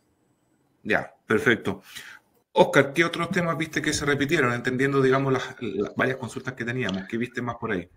Sí, otra de las consultas que nos hacían eran, eran dos similares. Una, los contribuyentes que eran exentos por ciertas normas en, el pasado, si con esta norma cambiaban. Por ejemplo, la apoyo de beneficencia, lotería, algunas universidades esas siguen siendo exentas por, por ley. La ley no, las, no las modificó. Y similar a, esa consulta nos preguntaban si había un mecanismo para pedir exención ¿Ya? para algunos servicios. Y la verdad es que no, no, no, es que un contribuyente pueda decir yo quiero seguir siendo exento particularmente y que el servicio lo otorgue. Nosotros no, no podemos ir en contra de lo que indica la ley, indicando que los IVA tienen IVA, perdón, los servicios tienen IVA hoy en día.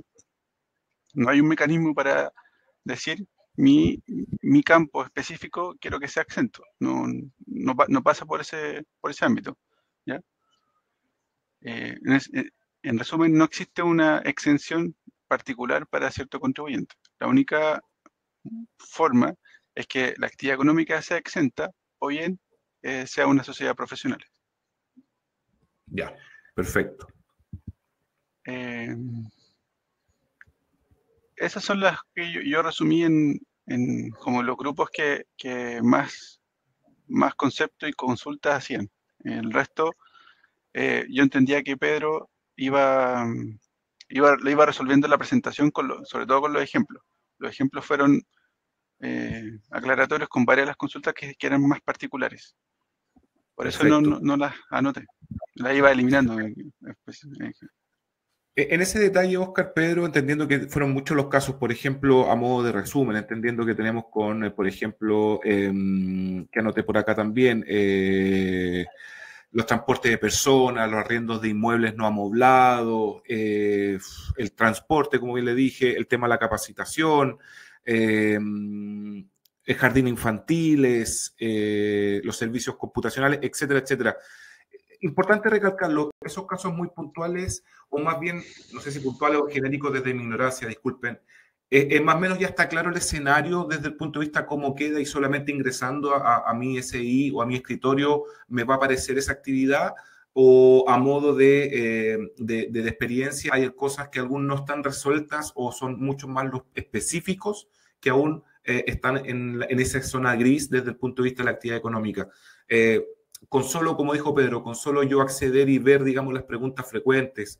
o simplemente revisar mi actividad económica, pudiésemos resolver la gran mayoría de los casos muy puntuales, los peluqueros, por ejemplo, eh, etcétera, etcétera? Claro, o sea, en, en rigor, la, mayoría de los contribuyentes a la fecha ya tiene, tiene una certeza de cómo va a tributar, ¿ya? Ahora, cuando tenemos estos giros grises o cuando tenemos actividades como peluqueros, por ejemplo, eh, acá es importante distinguir que la actividad de peluquería en primera categoría no se ve tocada por la implementación de la ley 21.420, ¿ya? Eh, la actividad de peluquería en primera categoría ya estaba afecta a IVA, ¿ya? Eh, son los peluqueros que, que pueden acceder a, la tributación en segunda categoría los que, los que eh, no, no, están afectos a ella, pero en estricto rigor ya hay varios, hay varios ordinarios, oficios ordinarios me refiero, son estos pronunciamientos que el servicio hace en base a las consultas de los contribuyentes. Ya eh, eh, hace dos años, si no me equivoco, ya está definido que la, peluquería per es una actividad de primera categoría, salvo que el contribuyente la desarrolle como peluquero en segunda categoría y eh, no tiene gente contratada, por ejemplo, es, un modelo de negocio distinto. Entonces, ya agarrándome de, esta explicación, contestando una pregunta que vi en el chat, en donde una persona eh, eh, se hacía la pregunta si, en definitiva, la interpretación la hace el propio contribuyente eh, aquí reiteramos, nosotros institucionalmente lo que hacemos es entregarle al contribuyente la información idealmente lo más amigable posible, que una de las instancias para hacerlo es esta. Pero quien tiene la certeza de cómo funciona realmente en base a la casuística es el propio contribuyente. Entonces, ahí es donde él se ajusta a la clasificación que nosotros le podemos entregar pero lo que nosotros, desde la vereda de la responsabilidad, no podemos decir es, afirmar a priori que el contribuyente sí está cumpliendo tales condiciones o sí está ejecutando tal modelo de negocios, porque carecemos de información para contrastarlo. ¿ya? En eso, de, de nuevo, queremos ser súper claros. Perfecto. Gracias, Pedro, por sumar. Por ejemplo, otro caso que tengo de Janet Valenzuela. Si es SPA y he emitido facturas exentas en diciembre, ¿Debo sí o sí hacer término de giro? Si es SPA y emitió factura, perdón, exenta. Sí.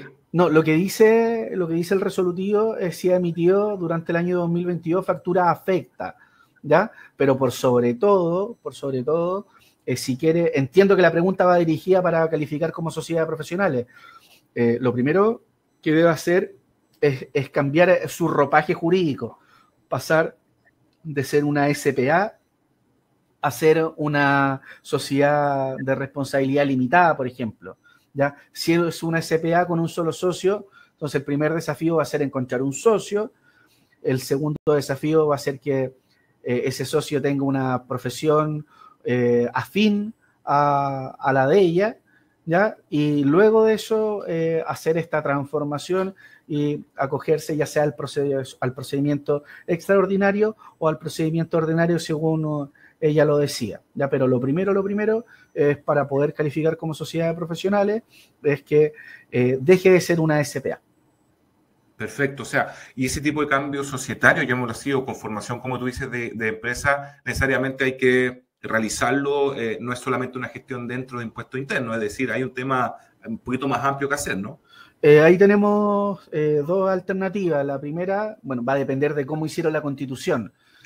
Si, si, se constituyeron con vía escritura pública en una notaría, ahí tienen que, que por ese mismo camino hacer la modificación, pero si constituyeron la, la, empresa en empresa en un día con el registro de sociedades, se hace, se hace eh, la modificación en ese portal y luego esa información eh, se hace disponible al servicio de impuestos internos. Perfecto. Se eh, comentaron algunos casos también, Pedro, de las fundaciones sin fines de lucro. dentro de su, que son exentas, hablaban por lo menos de la, de, la experiencia, ¿se mantienen? ¿Dice algo la normativa? reiteramos que en principio todos los servicios eh, quedan afectos salvo las exenciones que ya la ley ha detallado y se agregan la salud ambulatoria y las sociedades de profesionales. ¿ya?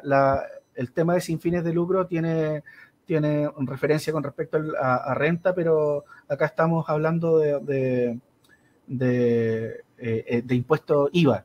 ¿ya? Entonces ahí también hay que separar un poquito conceptualmente las aguas. Perfecto. Mira, mira la consulta, Pedro, que nos comenta Natalia Vergara, entendiendo, digamos, que a lo mejor pueden estar muchos en el caso. Dice, si eliminamos los giros de IVA, ¿se podría aplicar la exención del IVA? Es decir, me lo imagino en, bruto, ¿ah?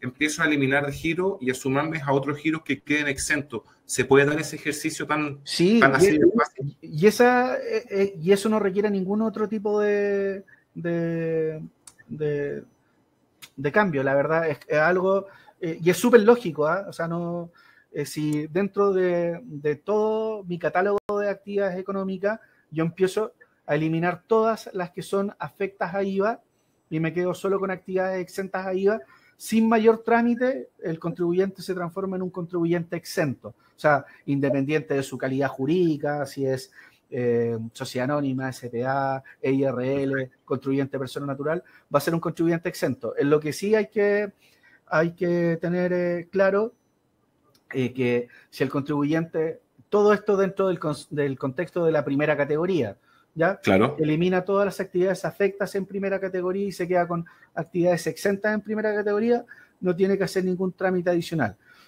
Distinta suerte es si un contribuyente que tenía actividades afectas a IVA, o sea, actividades de primera categoría afectas a IVA, y decide quedarse solo con un giro en segunda categoría, ahí el camino es hacer término de giro en primera categoría para conservar correctamente su actividad en segunda. Ahora, si no hace el término de giro, que de todos modos lo invitamos a que lo haga de manera oportuna para que no se exponga a pagar multas innecesarias por dar aviso de manera tardía, eh, podría seguir emitiendo boletas de honorario en, eh, si en estricto rigor solo está realizando esa actividad de segunda categoría. Pero eso, reiteramos, lo sabe mejor el contribuyente que nosotros, ¿ya? Porque en la realidad podríamos tener un contribuyente que para entender que está emitiendo un documento tributario frente a un pago, podría emitir una boleta de honorarios, pero en virtud de una actividad que está afecta a IVA. ¿ya? Por eso reiteramos que en la práctica es un contribuyente que el contribuyente sabe mejor el servicio que está prestando de la manera que lo está prestando que nosotros. No, no existe un funcionario de impuestos internos que esté al lado de cada prestador de servicio a lo largo del país. Por lo tanto, reiteramos eso. ¿ya? Perfecto. Otro que se repitió mucho, Pedro, desde el punto de vista de los servicios profesionales, es cómo fundamentar que trabajan. Eh, se tiene que adjuntar el contrato de trabajo, las boletas que prestan. ¿Hay algún, algún eh, procedimiento para poder justamente acreditar que se trabaja en la servicio, en, dicho en, esa, en dicha sociedad profesional, más bien digo? Eh, existen formas de hacer cruces de datos para validar que los socios presten servicios a la sociedad.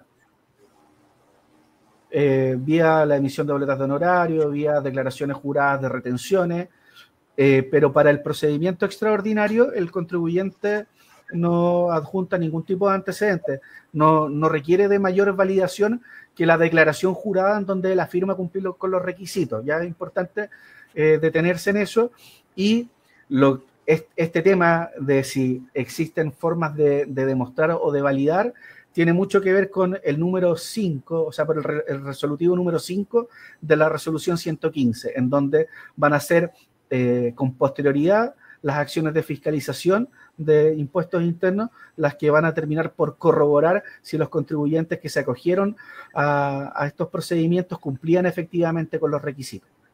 Perfecto, perfecto. Gracias, Pedro.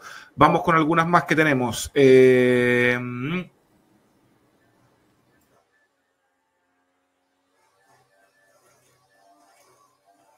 Espérame. Eh, Claudio Lapostol, por ejemplo, resolutivo número 2.5. ¿Qué pasa si el contribuyente no tiene un balance? Está recién empezando. Está recién empezando, entendemos los dos, los dos primeros meses, no cumple ese, no, tiene la obligación de cumplir ese requisito. Se queda con solo los cuatro, los cuatro primeros pasos que estaban en la lámina anterior. ¿ya? Ah, Cuando ya tenemos un contribuyente con funcionamiento, ahí se le exige el balance. Perfecto, perfecto. Gracias, Pedro. Gabriela Quintana, que también lo comentó Oscar hace un ratito. Nosotros éramos exentos y aún no me habilitan las boletas afectas. ¿Qué debo hacer? Sí, él, lo ha mencionado anteriormente, que tiene que solicitarlo por eh, petición administrativa a través del sitio web o la oficina, oficina del, Servicio de Interno. También puede llamar a Mesa Ayuda, pero entiendo que los otros dos, dos, dos formas son más rápidas que, que a veces la mesa de ayuda puede estar un poco más saturada. Sí, claramente que sí. Eh, Liborio Mamani, gracias Liborio, dice, Pedro, ¿qué pasa con las exportaciones de servicios?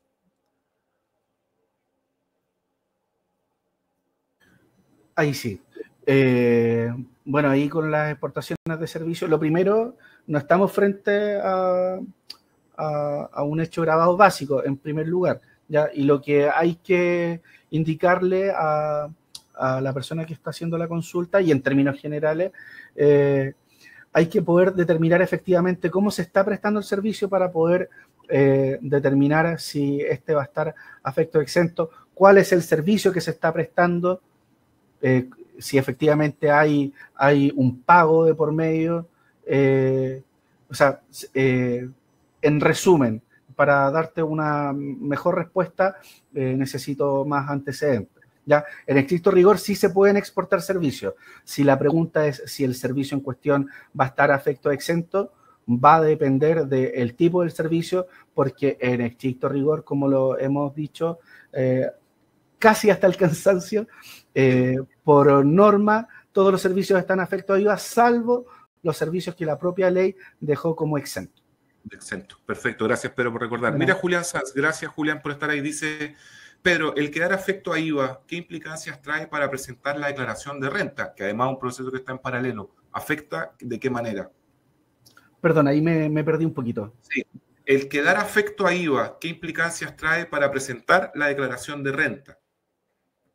Me imagino que hoy día él quedó exento y hoy día pasa a ser afecto. ¿Cómo afecta la declaración de renta? Pero corrígeme, la declaración de renta de este año es lo del 2022, ¿no? Claro, eso, eso es súper importante lo, que tú levantas como información. Eh, la entrada en vigencia de esta ley eh, va a tener impacto con lo que los contribuyentes informen en sus declaraciones a contar del próximo año, o sea, la, operación renta del año 2024 va a tener información con respecto a las operaciones de venta de este año, que es donde a muchos contribuyentes eh, se le hace el recargo con respecto al IVA. Claramente, claramente que sí. Gracias, Pedro, por, por la, respuesta. También se dio algunos que también dice Santiago Rocha, gracias, dice sobre servicio al Estado, Corfo y Cercotec, por favor, debemos seguir emitiendo factura exenta. Hay más que lo que, hay, eh, me imagino que pasa a ser fundamental el tipo de servicio, ¿no? Más que que esté prestándoselo a Corfo, a Cercotec o a una entidad pública. Mm, ya, aquí, eh, con respecto a quienes le están prestando servicio a instituciones del Estado, al Estado, en, definitiva, eh, la circular 50 eh, del, del, 27 de octubre del año pasado establece dentro de las normas transitorias una exención en donde van a poder seguir emitiendo documento exento en la medida, exento este año, o desde este año, en la medida que las licitaciones o los contratos celebrados con anterioridad a la entrada de vigencia de la ley sigan vigentes los mismos términos. Esa es como, en resumen, la, exención eh, transitoria que contempla la circular 50 del año pasado. Perfecto, gracias Pedro. Estoy buscando eh, un ejemplo que nos dio, espérame, déjame buscar acá que lo tenía acá.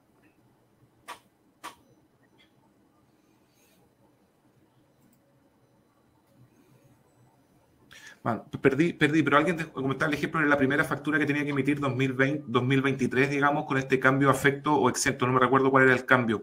Eh, no pasa nada desde el punto de vista de la aclaración o justamente el, tema administrativo de la empresa. Es decir, si de ser exento hoy día está afecto y emite una factura con IVA, está bien dentro de lo que es la regla, ¿no? Claro, lo primero es revisar eh, cómo quedó su código de actividad si quedó afecto, procede que emite un documento afecto. Y acá Oscar nos puede ilustrar eh, mucho mejor, eh, ver si, si, se, si tiene la opción de emitir el documento afecto. No sé si quieres complementar eh, ahí, Oscar. Claro, es que si pasó por el, por el proceso que nosotros le habilitamos el documento, ya el primero de enero eh, podía emitir el documento sin ningún problema, incluso con la verificación de actividad ya realizada centralizadamente, y, si, si, lo hizo así, hizo todo correctamente, hizo, la, hizo todo como debería haberlo hecho. Sin duda, quizás corrígeme, Oscar, Pedro, lo que uno podría verse como mayor cambio es la, persona, la categoría entendiendo de, emisor de una boleta de honorarios versus una, una, una factura la retención. Hoy día estamos con la retención de la boleta honoraria en el 13%, el IVA está en el 19%, no solamente un gasto mayor. Quizás ahí donde se podría dar, Pedro, Oscar, un mayor cambio desde el punto de vista de no solamente el documento a emitir, sino efectivamente al, al formato o, o, bien digo el documento a emitirlo, ¿no? Sí, son, son cosas muy distintas en realidad. Sí. Porque una es eh, impuesto y la otra es retención. Entonces son conceptos tributariamente muy distintos. Eh, para la factura, eh, o sea, perdón, el que emite boleta en horario en el pasado es que es que puede ahora ser sociedad profesional y seguir emitiendo boleta horario electrónica, que es el único caso que puede seguir. Tiene que hacerse cambio en sociedad, claro. Pero para el, para el otro caso, el que quizás la mayoría de los asistentes, que son contribuyentes que tenían su actividad exentas y pasaron a ser afectas, ahí tiene que emitir boleta, perdón, factura o boleta de venta de servicio y no, no tiene esta, esa opción de seis meses para seguir emitiendo boleta honorario. Son cosas muy distintas.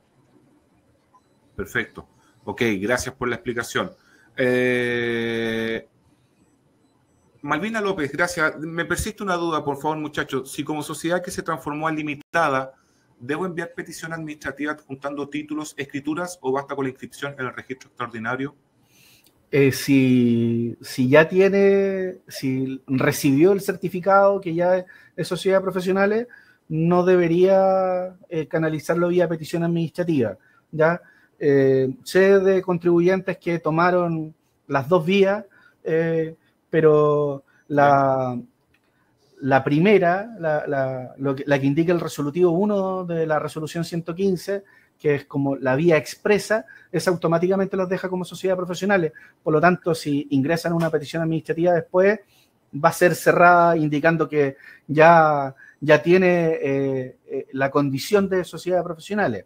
¿Ya? Eh, lo importante es que eh, de verdad haya cumplido con los requisitos, más allá de, ser eh, una limitada, porque la garantía que tiene, por así decirlo, la petición administrativa es que se hace una validación por parte de un funcionario y la otra es una declaración jurada. Entonces, si, si puso que cumplía todos los requisitos, pero en rigor no los cumplía, después va a tener que asumir lamentablemente las consecuencias de ese error.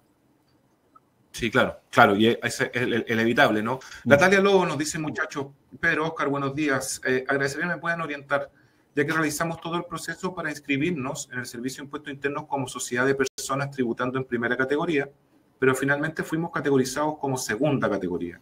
¿Podemos emitir facturas exentas? Nosotros ya las emitíamos desde el año 2019. Ahí le indicaríamos que haga la solicitud para tributar en primera que haga la solicitud para tributar en primera y para que emita correctamente estas facturas exentas o boletas exentas de IVA. Esa sería como la invitación, que haga, está a tiempo de hacer la solicitud para tributar en primera. Perfecto, perfecto. Ahí entonces está la, posibilidad de poder solicitar ese cambio. Eh, dice, por favor, muchachos, reiterar el cambio de que si un contribuyente queda afecto a IVA o no es automático o se debe, la, o se debe revisar en las actividades económicas?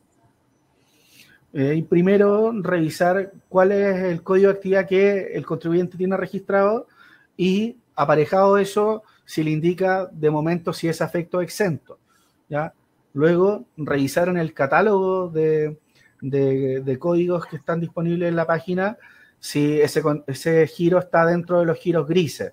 ¿ya? y como Tercer paso, si es que está dentro de los giros grises, el mismo eh, revisar cuál es su modelo de negocio, si es que cumpliría, en el caso de tener una actividad que aparece, le aparece como afecta, pero de acuerdo a su forma de, desarrollarla, eh, calificaría como exento. Sería como el, el tercer paso para, para concluir cómo le corresponde tributar. Perfecto. Eh, Marcelo Núñez, también un tema que lo, lo, abordamos, muchachos, y sería bueno a lo mejor recalcarlo. ¿Qué pasa con los servicios que facturaban exentos con contrato que vienen desde el año 2022 y pasan hasta el año 2023? ¿Se podrá terminar de facturar exento? En, bajo la, la norma transitoria de la circular 50 del año pasado, eh, en el entendido de que sean contratos celebrados con el Estado o con una organización estatal, eh, sí, ahí se puede seguir facturando exento. Eh, entre privados no, la exención no, los menciona. Ya, buen punto entonces. Si es, claro, si es ante una actividad pública, sí, pero entre privados habría que revisar mi, mi actividad económica porque podría estar cayendo en incumplimiento. Claro. Correcto. Juan Calvo también nos suma, gracias Juan, dice, y que se también repitió, soy profesional auditor, persona natural y realizo asesoría emitiendo boletas honorarios. ¿Estoy obligado a transformarme en sociedad de profesionales? El contribuyente, ¿qué actividad desarrollada ahí me...? Profesional auditor. Eh, ¿Él desarrolla la actividad como persona natural? Sí, así nos comenta. Ya, si la desarrolla como persona natural, él podría calificar en segunda categoría. Eh, si es que no encuentra un código de actividad eh, eh, asociado, podría ser como estas actividades que no, tienen una, calificación precisa, ¿ya? como cualquier prestador de, servicios como persona natural. La, la, distinción se hace cuando son contribuyentes que deciden tributar en primera categoría y ahí hay giros que ya quedan como, como afectos, pero cuando se desarrollan prestaciones de servicio en segunda pueden gozar de esta exención que en definitiva ya existía en el número 12 que, de, la ley de IVA, que son las actividades eh, para los contribuyentes que están en el 42 número 2 de, la ley de, la renta, los clásicos emisores de boletas de honorario. Ya, perfecto. Gracias, Pedro. Em, eh, Alexia Volodarsky también, y comentaban mucho ahí qué pasa con las cooperativas de trabajo, donde los socios son todos profesionales que trabajamos brindando servicios y consultorías en el ámbito de la conservación del medio ambiente en este caso. ¿Se ven afectadas también eh, las cooperativas de trabajo, Pedro? Eh, claro, como, como lo hemos dicho, todos los servicios están afectos salvo las exenciones. Eh, que, contempla la ley y si en este caso estamos eh, bajo una persona jurídica de objeto único, o sea, de giro exclusivo y todos son todos tienen profesiones afines, podrían calificar como una sociedad de, de profesionales a priori en base a los antecedentes que está entregando. Claramente que sí. Es bueno el punto que es recalcado ya más de una, de una ocasión y es bueno reiterarlo, Pedro. Eh, la ley dice que todos están obligados a pagar IVA salvo las exenciones que se publicaron. Es decir, eh, esto no más que uno a uno, es decir, todos entran a la bolsa, pero van a salir de la bolsa porque la ley eh, estableció que no. Es sumamente importante porque uno podría decir que al contrario, que dé o no quede. No, estamos todos adentro. El punto es ver si dentro de las exenciones que publicó la ley no quedó adentro de los ejemplos que nos mostraste o en términos grises, entendiendo de cómo puedes explicar, digamos, o interpretarlo. Pero lo importante es que hoy día todos están afectos a pagar IVA a partir del 2023 con la excepción importante, porque no es al revés, por eso hago el punto. Eso es súper, o sea, que lo, que estás diciendo lo, resume muy bien y, y, es como debiéramos empezar a hacer eh, el análisis. Eh, en por eh, la definición es que todos están afectos. ¿ya? Todos están afectos, todos, todos, todos, todos. Hasta las sociedades de profesionales, todos están afectos. Y la gracia es que las sociedades de profesionales gozan de una, de una exención, pero por definición están afectos. ¿ya? Entonces, ahí eh, el, camino, la, la, invitación es a que se revisen las exenciones contempladas en la ley, reiteramos artículo 12 y artículo 13 de la ley de IVA, y además eh, las exenciones que ya vienen contempladas eh, por, por, este cambio normativo eh, que tiene, se agregan las sociedades de profesionales y los servicios ambulatorios de, de salud.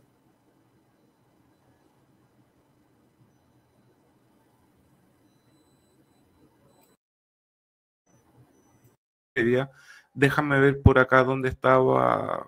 espérame, espérame. Acá, Yanina Pérez dice, todos los servicios de salud ambulatorios deben estar registrados en FONASA. Te hago el punto de FONASA. ¿Pasa a ser ese registro fundamental para ello? De acuerdo a lo que eh, dice la, circular 50, sí. Entonces ahí podemos tener eh, aquí dos, eh, dos caminos, ¿ya? desde el punto de vista tributario, podemos entender que un servicio está exento, ¿ya? Pero ya no es resorte de esta institución el que por cualquier tipo de decisión ese servicio esté incluido en, la nómina, ¿ya? O sea, los criterios para que estén en esa nómina, en ese listado, ya dependen de otro ente público. Lo que sí podemos decir nosotros con, eh, eh, con, con, certeza, en base a, a, los pronunciamientos que ya están disponibles en, en, la página, en la parte de la, de la jurisprudencia administrativa que les comentaba, es que un servicio, si es de, salud, es ambulatorio, y está contenido en este repositorio de, FONASA, eh, cumple con los requisitos para estar exento, ¿ya? Pero no, no es una decisión de esta institución que un servicio esté en ese listado. No sé si me explico. Sí, sí, sí, creo que sí. Creo que desde el punto de vista de que pasa a ser de, FONASA o desde el registro de ellos la, la, inscripción del, del servicio a prestar. Exacto. Más que del servicio propiamente tal. Pedro, para ir finalizando ya casi estas dos horas de webinar donde hemos tratado, a, quedaron muchas, han quedado muchas situaciones muy puntuales, pero eh, de ahí el llamado a proactivamente es a compartir en los links que les vamos a hacer llegar en el correo y que hemos estado a través del chat, revisen eh, eh, la actividad económica en que quedaron, partiendo de la base, como dijo Pedro, que todos, todos quedamos pagando IVA.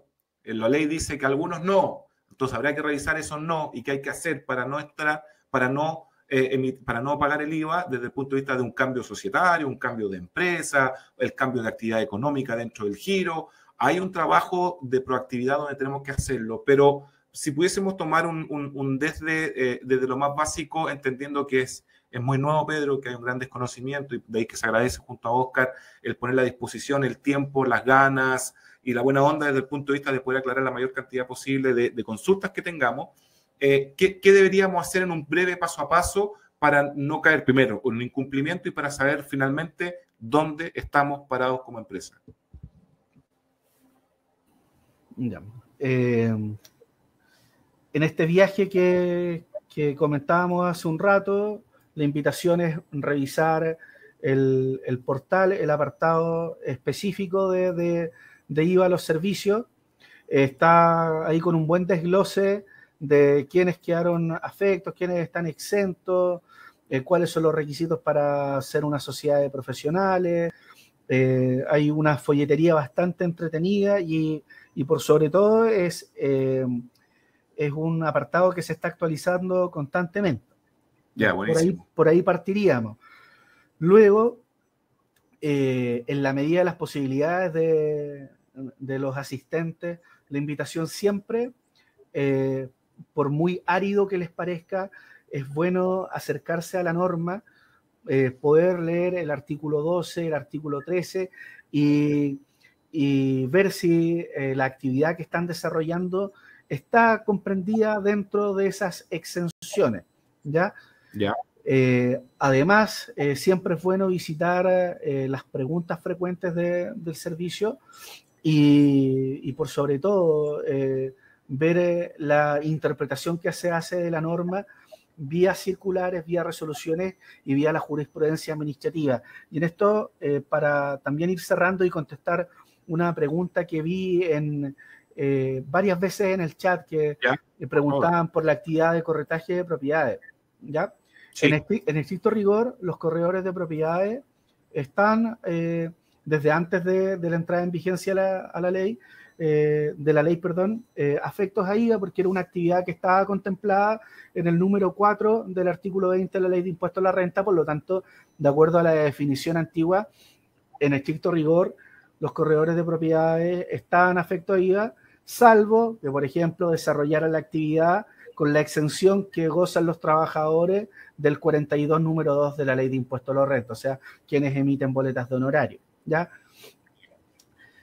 Eh, y también vi la consulta también relacionada con los corredores de, propiedades y es, una respuesta, y que por eso lo saco en este momento de colación, es una respuesta que ya está disponible dentro de la jurisprudencia administrativa, si es que los corredores de propiedades podrían formar sociedades de profesionales, ¿ya?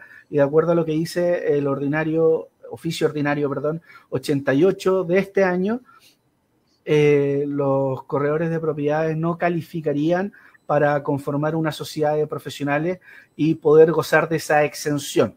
¿ya? Si algún corredor de propiedades eh, quiere estar gozando de una exención, lo puede hacer, pero si tributa bajo las reglas del 42 número 2 del impuesto a la renta. Eso quiere decir que si emite boletas de honorario. ¿Ya? Ya. Pedro, em, te ha tocado por la experiencia ver muchos, obviamente, eh, en vigencia, entrada en vigencia la ley, eh, no solamente esta excepción de estos seis meses que tenemos para justamente ir recomodando a tu criterio, a tu juicio muy personal o a tu experiencia muy personal. Eh, ¿Crees que esto pueda ir mutando mucho con el correr de los días y el tiempo, entendiendo de cambios, no solamente actividades de, de, de, de, económicas, cree que ya está lo que lo comenté en algún principio, si hoy ingreso y hoy día estoy afecto, quedé afecto y es muy difícil dentro de la exención entrar si no hago un cambio a lo mejor de, sociedad o de tipo de empresa. ¿Cómo lo ve tu experiencia? ¿Cómo lo ve tu años de servicio y un poco estas entradas que son a veces muy choqueantes, porque con el correr de los días obviamente uno se va readecuando? ¿A qué podríamos atenernos? Eh, te voy a contestar en base a la, norma que está vigente. ¿ya? Nada impide que hayan cambios de norma. Ahí eh, importante también poner énfasis en que nuestra institución no, es el poder legislativo.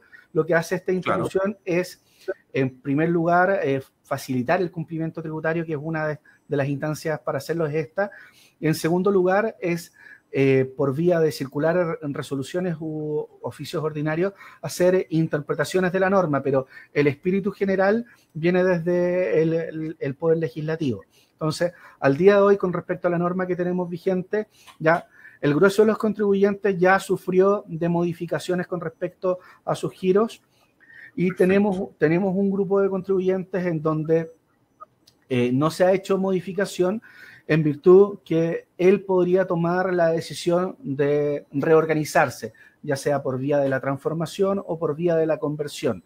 Eh, no obstante todo lo anterior, siempre hay situaciones particulares y son eh, en concreto el trabajo que, por lo menos yo estoy haciendo el día de hoy es dar respuesta a estas situaciones particulares a los contribuyentes en donde nos encontramos con eh, a modo de ejemplo, un contribuyente que eh, teniendo un servicio ambulatorio de salud aparece con un giro afecto a IVA y revisando el contribuyente dentro de su historial eh, de documentos emitidos, ha emitido documentos afectos. Entonces, eh, lo que le tenemos que decir a él es para que pueda gozar de la exención y poder seguir en el futuro emitiendo los documentos afectos en el caso que sea pertinente, tendría que agregar un código de actividad relacionado a la salud humana, afecto, y ahí va a poder hacer eh, goce de la exención por la salud ambulatoria. Ya, pero como te digo, son situaciones súper particulares eh, a, las, que nos enfrentamos que tienen este tipo de, no sé si llamarlo de anomalías, pero sí desde la casuística son situaciones que no, no son tan masivas. Por lo tanto, eh, reiterando la invitación a que todos visiten la página, que utilicen los canales de información que tenemos disponibles y los canales de consulta eh, en la medida de sus posibilidades. Eh, traten de indagar con respecto a sus códigos de actividades, entendiendo lo que tú ya afirmaste. Todos están afectos, salvo los que pueden gozar de alguna exención que ya estaba contemplada en la ley y que se agregaron estas dos con los servicios profesionales y la salud ambulatoria humana. Sin duda que sí, Pedro. Y en buen chileno, la pelota queda en, nuestros lados, de ir a buscar esa respuesta si es que no se dio puntualmente en este webinar. Ya entendemos y agradecemos a todos los que participaron, pero están los pasos a seguir, que yo creo que también deja mucho, entendiendo con sus contadoras, contadores, ustedes mismos, está, van a tener toda la información, los links donde pueden eh, ver las actividades económicas, quiénes sí, quiénes no, quiénes están exentos, obviamente, en esta nueva ley. Y efectivamente queda por lo menos el paso a paso.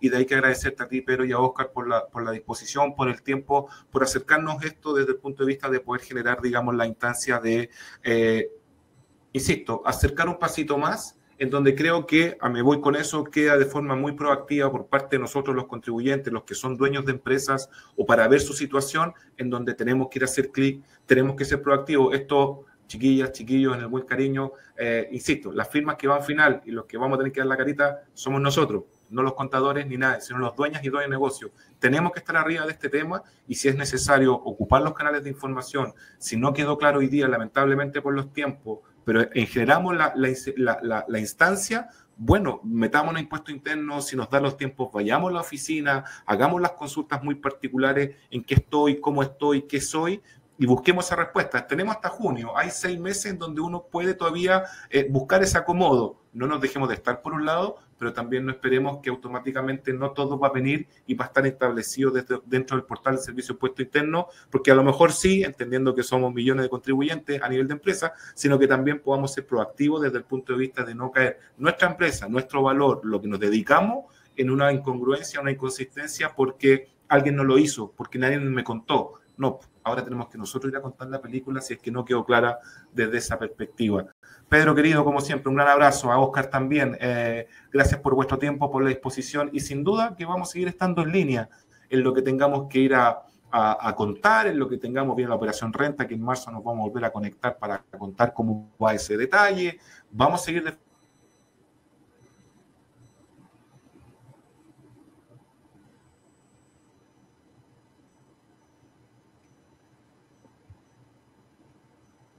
Se dejó escuchar a Andrés, parece. Sí. ¿Nos despedimos nosotros entonces? Tomamos la rienda. No, esperemos mientras vuelva Andrés. Está, estoy yo, Patricio Tapia, del, equipo de Previme también. Como decía Andrés, agradecerle a ambos por la, por la, por la capacitación de esta, por esta charla, por ayudarnos a, aclarar, muchas dudas que tenían los, los contribuyentes en este día de hoy. Muchas gracias a ustedes por eh, nuevamente brindando esta oportunidad y esperamos eh, vernos pronto. Gracias, muchas gracias. Hasta la próxima. Hasta la próxima. Y a ustedes agradecerles también, chao, chao, chao. Agradecerles también a todos los que participaron de este webinar, a nombre de Andrés y todos los que hacemos el equipo de Pepime. Eh, invitarlos a estar atentos a las próximas webinars que vamos a realizar la próxima semana y también comentarles que durante el día de hoy en la tarde haremos llegar la, tanto la presentación como el video en formato en YouTube para que la tengan la puedan revisar junto a sus equipos de trabajo. Muchas gracias a todos los que están acá por participar y nos vemos, así será hasta la próxima oportunidad. Chao, chao.